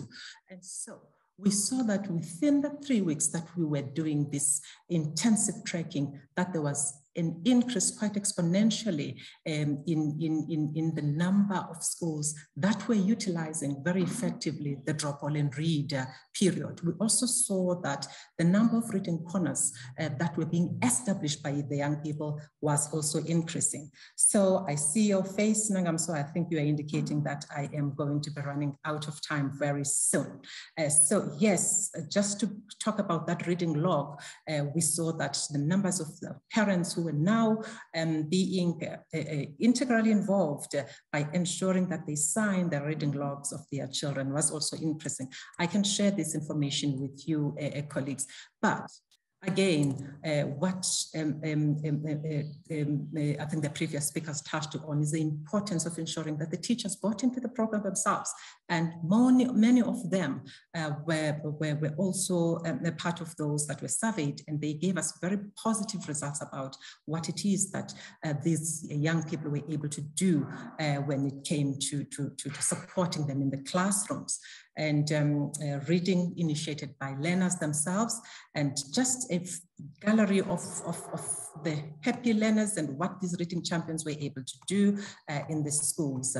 And we also had asked them a few questions about their own journey, and many of them were able to tell us what it meant for them. Uh, Kate spoke here about uh, testimonies that came from schools, and here is one of the schools uh, that gave us its own testimony saying that we want this program to come back. But one thing what I wanted to talk to is again the importance of that mentorship. And here Fundawande has come in uh, very handy to support us uh, by integrating technology to provide that and close that gap of mentorship, which we were not able to close with the first phase. So this time around, we are implementing, courtesy of you, uh, Nangamso and your team, uh, a, a, a, a component that is going to be leveraging on technology to be able to provide a mentor in the pocket. So yes, uh, there's a video there, uh, but so what I wanted to say to you is that without any doubts, a program of this nature and as government, it has helped us to ensure that we can draw on initiatives of this nature to ensure that we are able uh, to, to, to, provide meaningful, one, um, engagement of young people in the country, but while also uh, doing what we need to do, particularly in education, uh, which is to ensure that we shift the learning outcomes positively. Thank you very much. Thanks, uh, thanks, Khulula. I mean, I, I, just switched on my camera. Sorry to rush you off uh, at the end there. We, you actually have a, you actually have about, yes. yeah, you still you still have a bit of um one or two minutes left. But I think um before we take on the Q and A's, um also to say that um, we've been working, as Khulula said, have been working closely with her and her team um, to feed in some of those learnings um, and seeing some of the stuff that we've learned that have worked sort of being taken up by various of ways. But I think Khulula, if you could, um, for while I mean, while we while I'll give people an opportunity to post their questions, uh, one minute that video, um, uh, that reading bot video, I think it may be it may be interesting uh, for the attendees to also see. So I'm going to put you on the spot again to ask you to go back to that that slide and actually play that video. Uh, it's very interesting.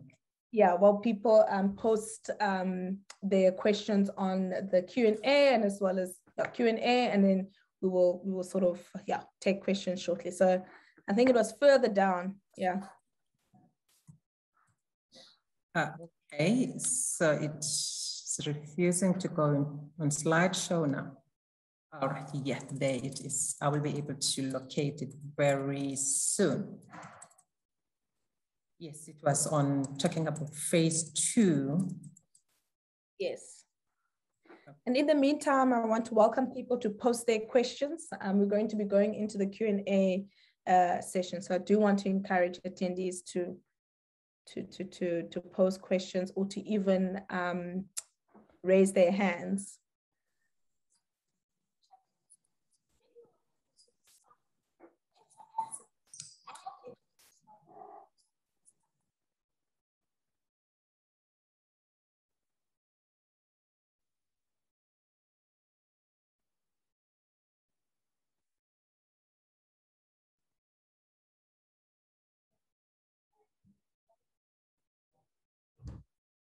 It does it does seem like there's a there's a bit of a sound issue, Khulula, which is which is which is fine. If the sound is not, what we will do is um, we will just probably then share with a link to the video on the chat chat box. Would that be okay? Maybe there's a, a buffering thing or something that's happening on, okay, on your it's not coming on clearly on your side. Yeah, it's not, which is fine. We will then what we'll do is we'll just share it with everyone on the call. But I thought it would be uh, it's a it's an interesting yeah, it's an interesting tool that we co-created with DBE um, in their sort of implementation. So I think, yeah, thanks Khulula a lot for that. Um, and I will just skim through. I see that we only have two questions on the Q&A.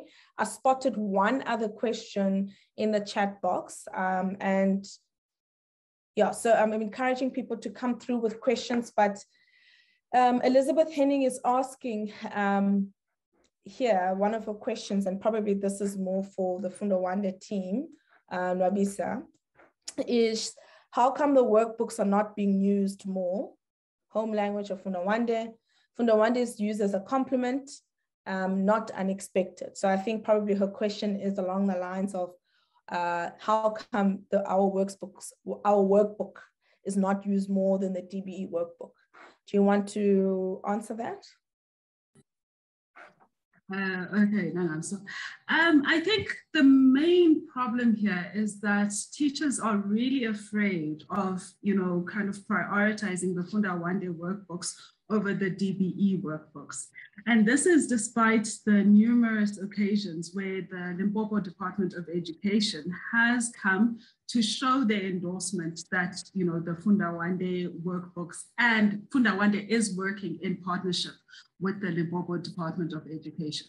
So this is where Ben's uh, kind of pressing us is going to be very instrumental next year in figuring out that beyond speaking with the Department of Education, getting teachers to kind of let go, because even with the DBE workbooks, it took some time for the teachers to really uh, take on the workbooks properly. Cool. Thanks. Thanks, Nwabisa. Um, Kulina, I'm going to ask you just to stop sharing your screen because we can still see your presentation on your other end.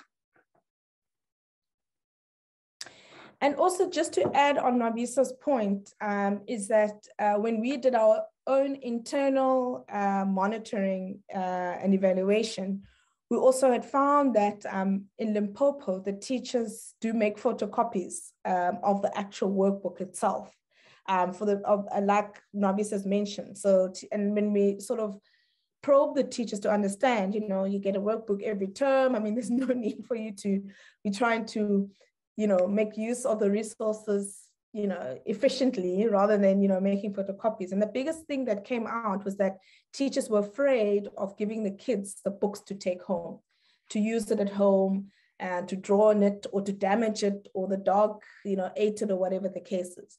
And one of our things at least from uh, some of the research that actually Nic and and and and, and Cally did in the in the eastern cape and kzn that um, having resources that kids can take home, um, you know, and, inter- and interact with it, not just only in the classroom, um, increases increases the time that kids are exposed to reading materials and so on so forth.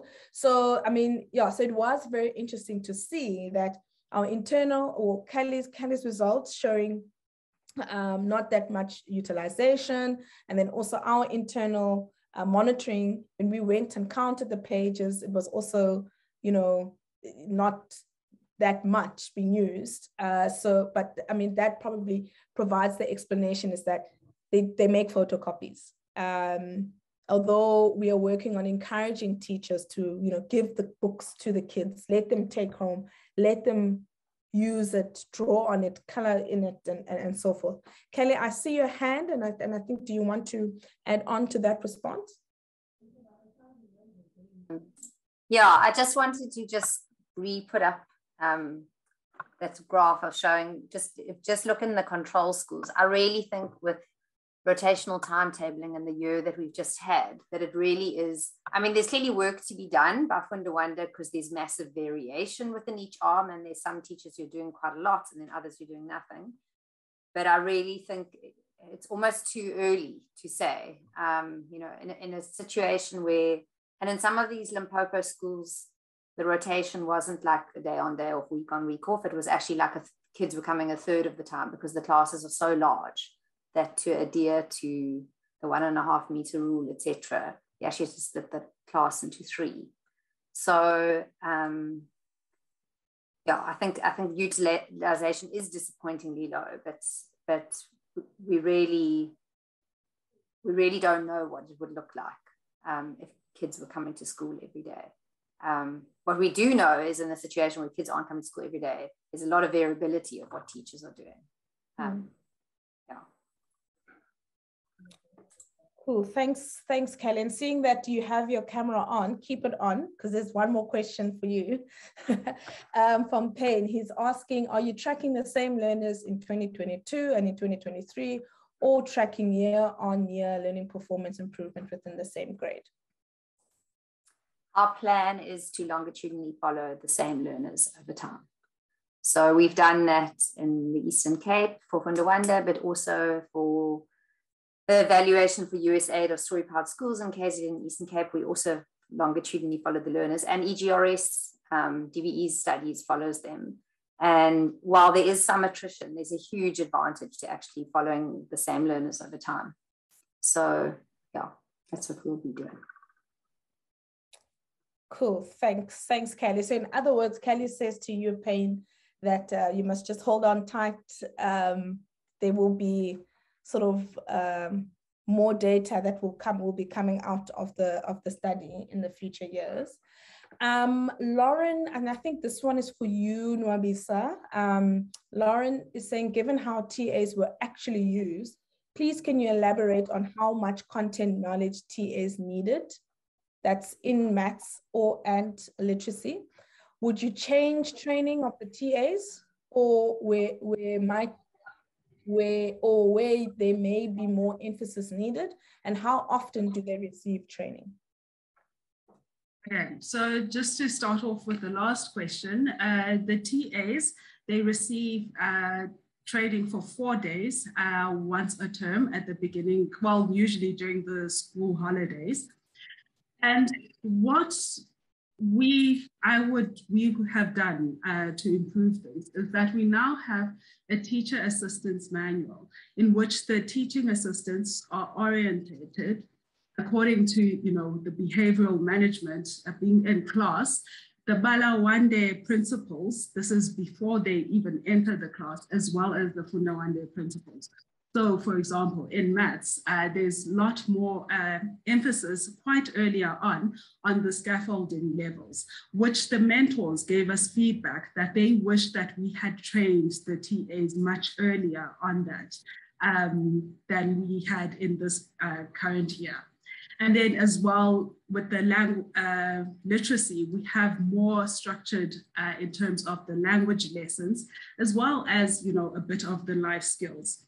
But in terms of the literacy and the numeracy, we train them as in everything that we have trained the teachers on because we really believe that the TAs should be able to follow on from what the teacher has done. So although they don't enter with a lot of content knowledge, through those very intensive trainings, they get to adapt and quickly, you know, learn the skills that you need.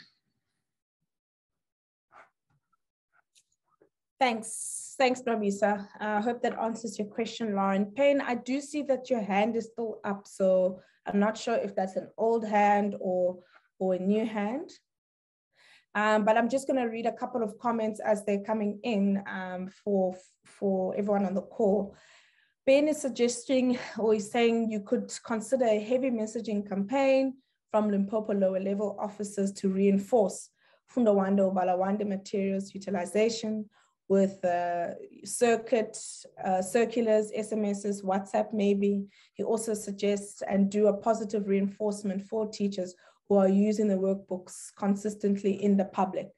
So I think that's a, that's a good, good suggestion there, Ben. Um, Raymond, uh, who's also, who is the, the project manager um, in the intervention, he's saying we are also introducing the WhatsApp bot, which allows TAs a real-time on content and videos interaction. Okay, Payne, you're saying it's a new hand. Do you want to come in and ask your question?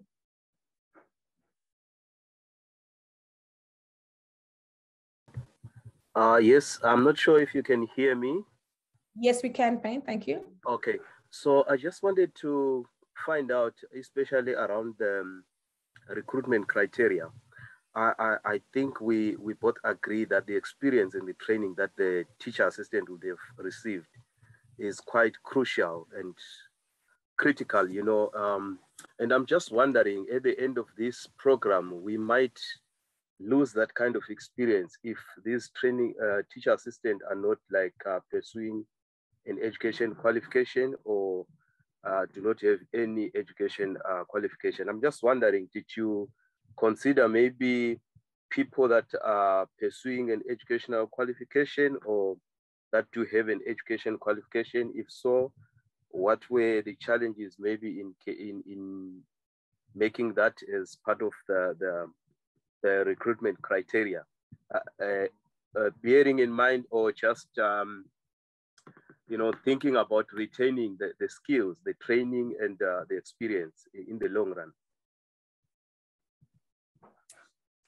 Thanks, thanks, Ben. I think good question. So obviously, I mean, I can see you have your video on. You're ready to you're ready to answer that one. Uh, yes. Um, so uh, the interesting thing is that um, of the people who had already, who were qualified and doing BEd, our attrition was mainly from uh, people finishing their BEd, doing their practicals, and being absorbed into the education system. And so, although we do not have an explicit searching just for people who have done BEd, the fact that it is within education and we do all of the competency assessments means that we really get a really good bunch of people who are actually um, studying their BEd and get absorbed into the system.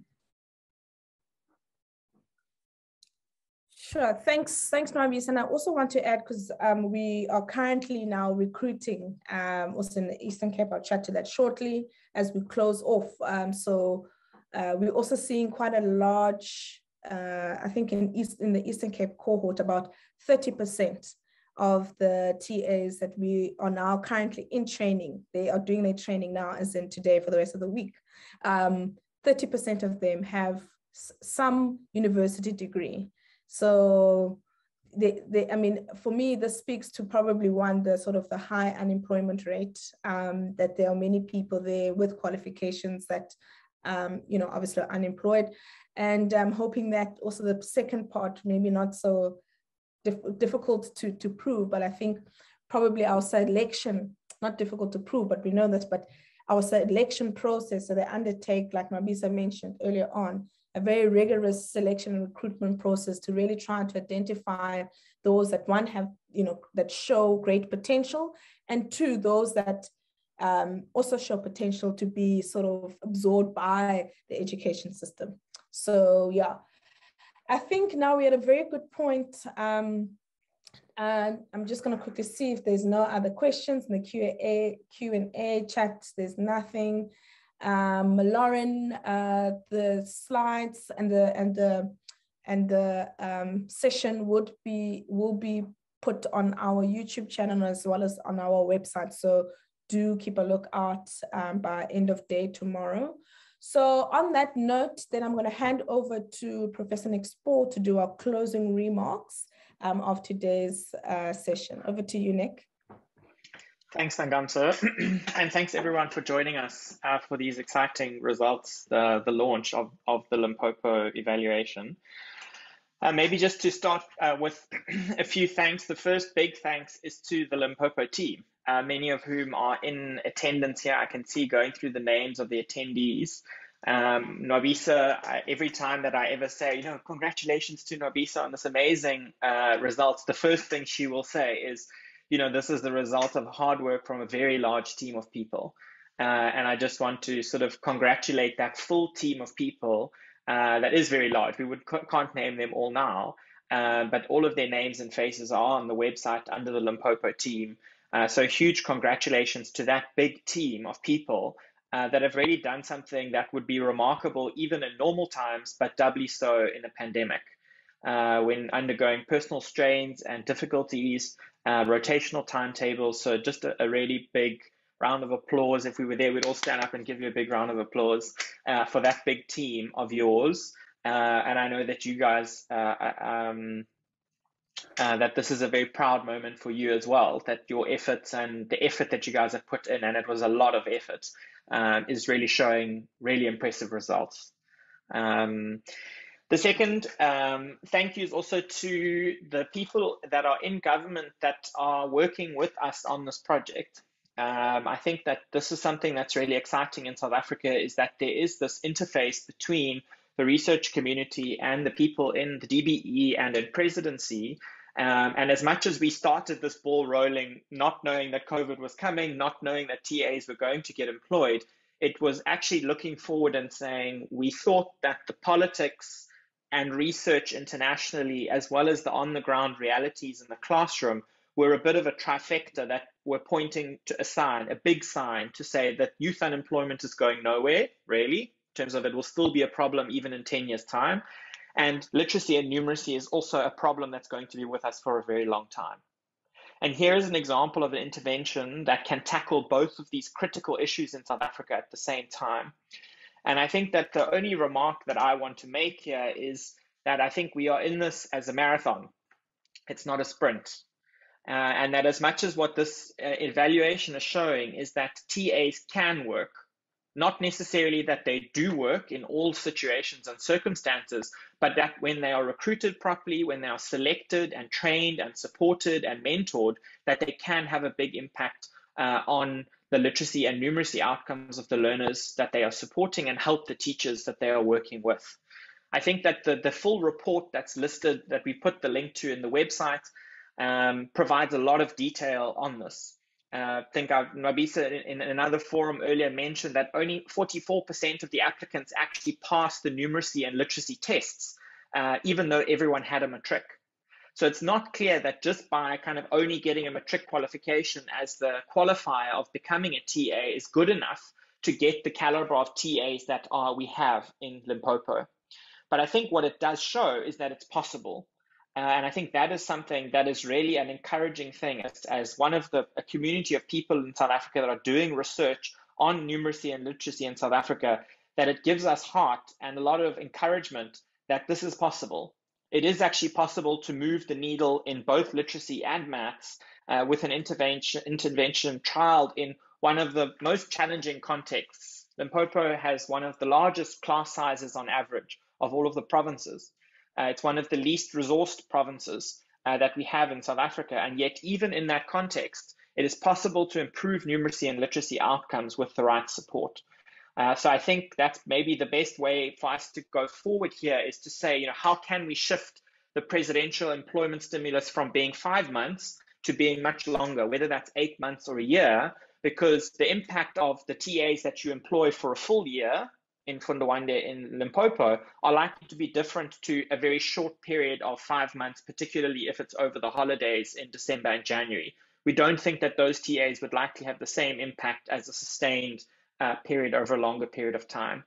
And I take uh, both Kate and Khulula's point that we need to start thinking about a teaching and learning workforce as opposed to just a teacher force. And also, how can we augment the case for institutionalizing this by government? Uh, and I think that the, the various different presentations that were made today, um, we're looking at all of those. I'm very encouraged that this is, uh, there's a sort of a sense of possibility that we really can do something with these results and this research, and that we found something that hopefully will be useful, not only for us in Fundawande, uh, and not only to the team that's taking Fundawande forward, um, but also to government, both to presidency and to the DBE. Uh, so thanks, Nwabisa, and, and thanks, Nangamso. Sure. Thanks, thanks, Nic, uh, for those closing remarks. And, and also just to add on that, as my sort of closing remarks, I think we, we're doing very well on, on, on time this, this, this afternoon. Um, so I think from the Fundawande perspective, uh, or sort of next steps from this, um, is uh, we are uh, extending uh, the Limpopo intervention. The original plans, this was pre-COVID now, as Nic has said, this was 20, 2018, I think 2018, uh, when the team was starting to be put together, is that uh, ideally, we not ideally, originally, we were going to be there for only two years in two grades. Um, but because of um, these positive um, results um, and also COVID learning losses, um, we're going to be extending it into an additional year, so an additional grade in, in, in 2023. And um, through uh, a lot of the work that Cally has done through the Learning Losses Report, um, uh, which some of that data was collected in our schools in Eastern Cape, uh, we do really think there is something special uh, or something, the combination of a TA and a structured program and recruit, recruited correctly, properly, and ongoing support is a very good mix of a cocktail. Um, so we're seeing these TAs um, as sort of our catch up into bridging the learning losses. So we see and we understand that if we don't address the learning losses as an organization and probably uh, more urgently as, as a broader uh, system, um, for us at Funda Wande, we are not going to be able to reach our 2030 goal.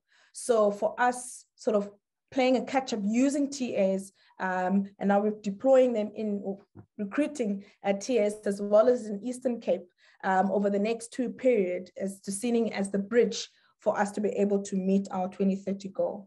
I think probably one last thing I want to close on, um, particularly, I mean, seeing that we've got this, uh, this uh, platform is the issue around ongoing timetabling, rotational timetables. So you saw Cally presented on the number of days and attendance.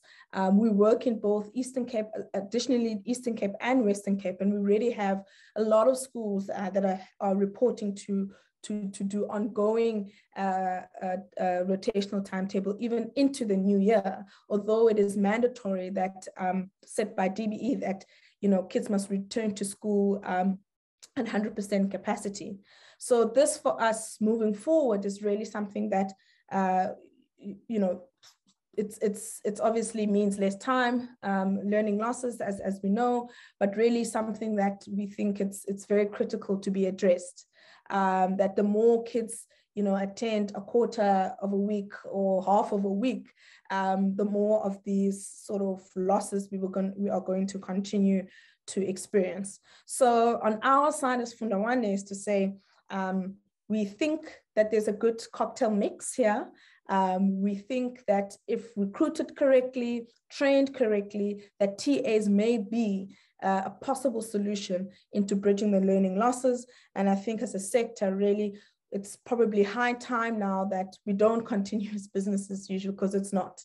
Um, it's almost like a double catch up. Like Khulula has mentioned earlier on, is that there was always a sort of big gap between um, or sort of a bi-model education system. And I think what COVID has done is just only to exacerbate um, the learning losses pre-COVID. So on that note, I just want to also thank um, all the speakers uh, today that joined us uh, and uh, all the prep that they did, reading the report and reflecting uh, and really giving us some food for thought moving forward. Like Nic said, I mean, this is, this is a marathon. Um, it's not a sprint. And I think the team internally, uh, I mean, we, we internally has also reflected on some of the preliminary findings and, and what does this mean for our interventions moving forward. We see ourselves very agile. Uh, one of our focus areas is, you know, remaining to be responsive uh, and, um, yeah, and reflective. So I think a lot of these discussions or this discussion in this um, webinar, I think as a team, we're definitely going to be taking forward. And I think most importantly to Khulula and Kate is that we are we are very um, excited um, into working uh, with the various of government um, departments and seeing ways of how we can you know feed in some of our learnings into the system. So on that note, thank you very much everyone um, for joining us. I know it's supposed to be an in-person, but continue to be safe, um, wear a mask, sanitize, all the COVID protocols. Yeah, so on that note, thanks everyone for joining us.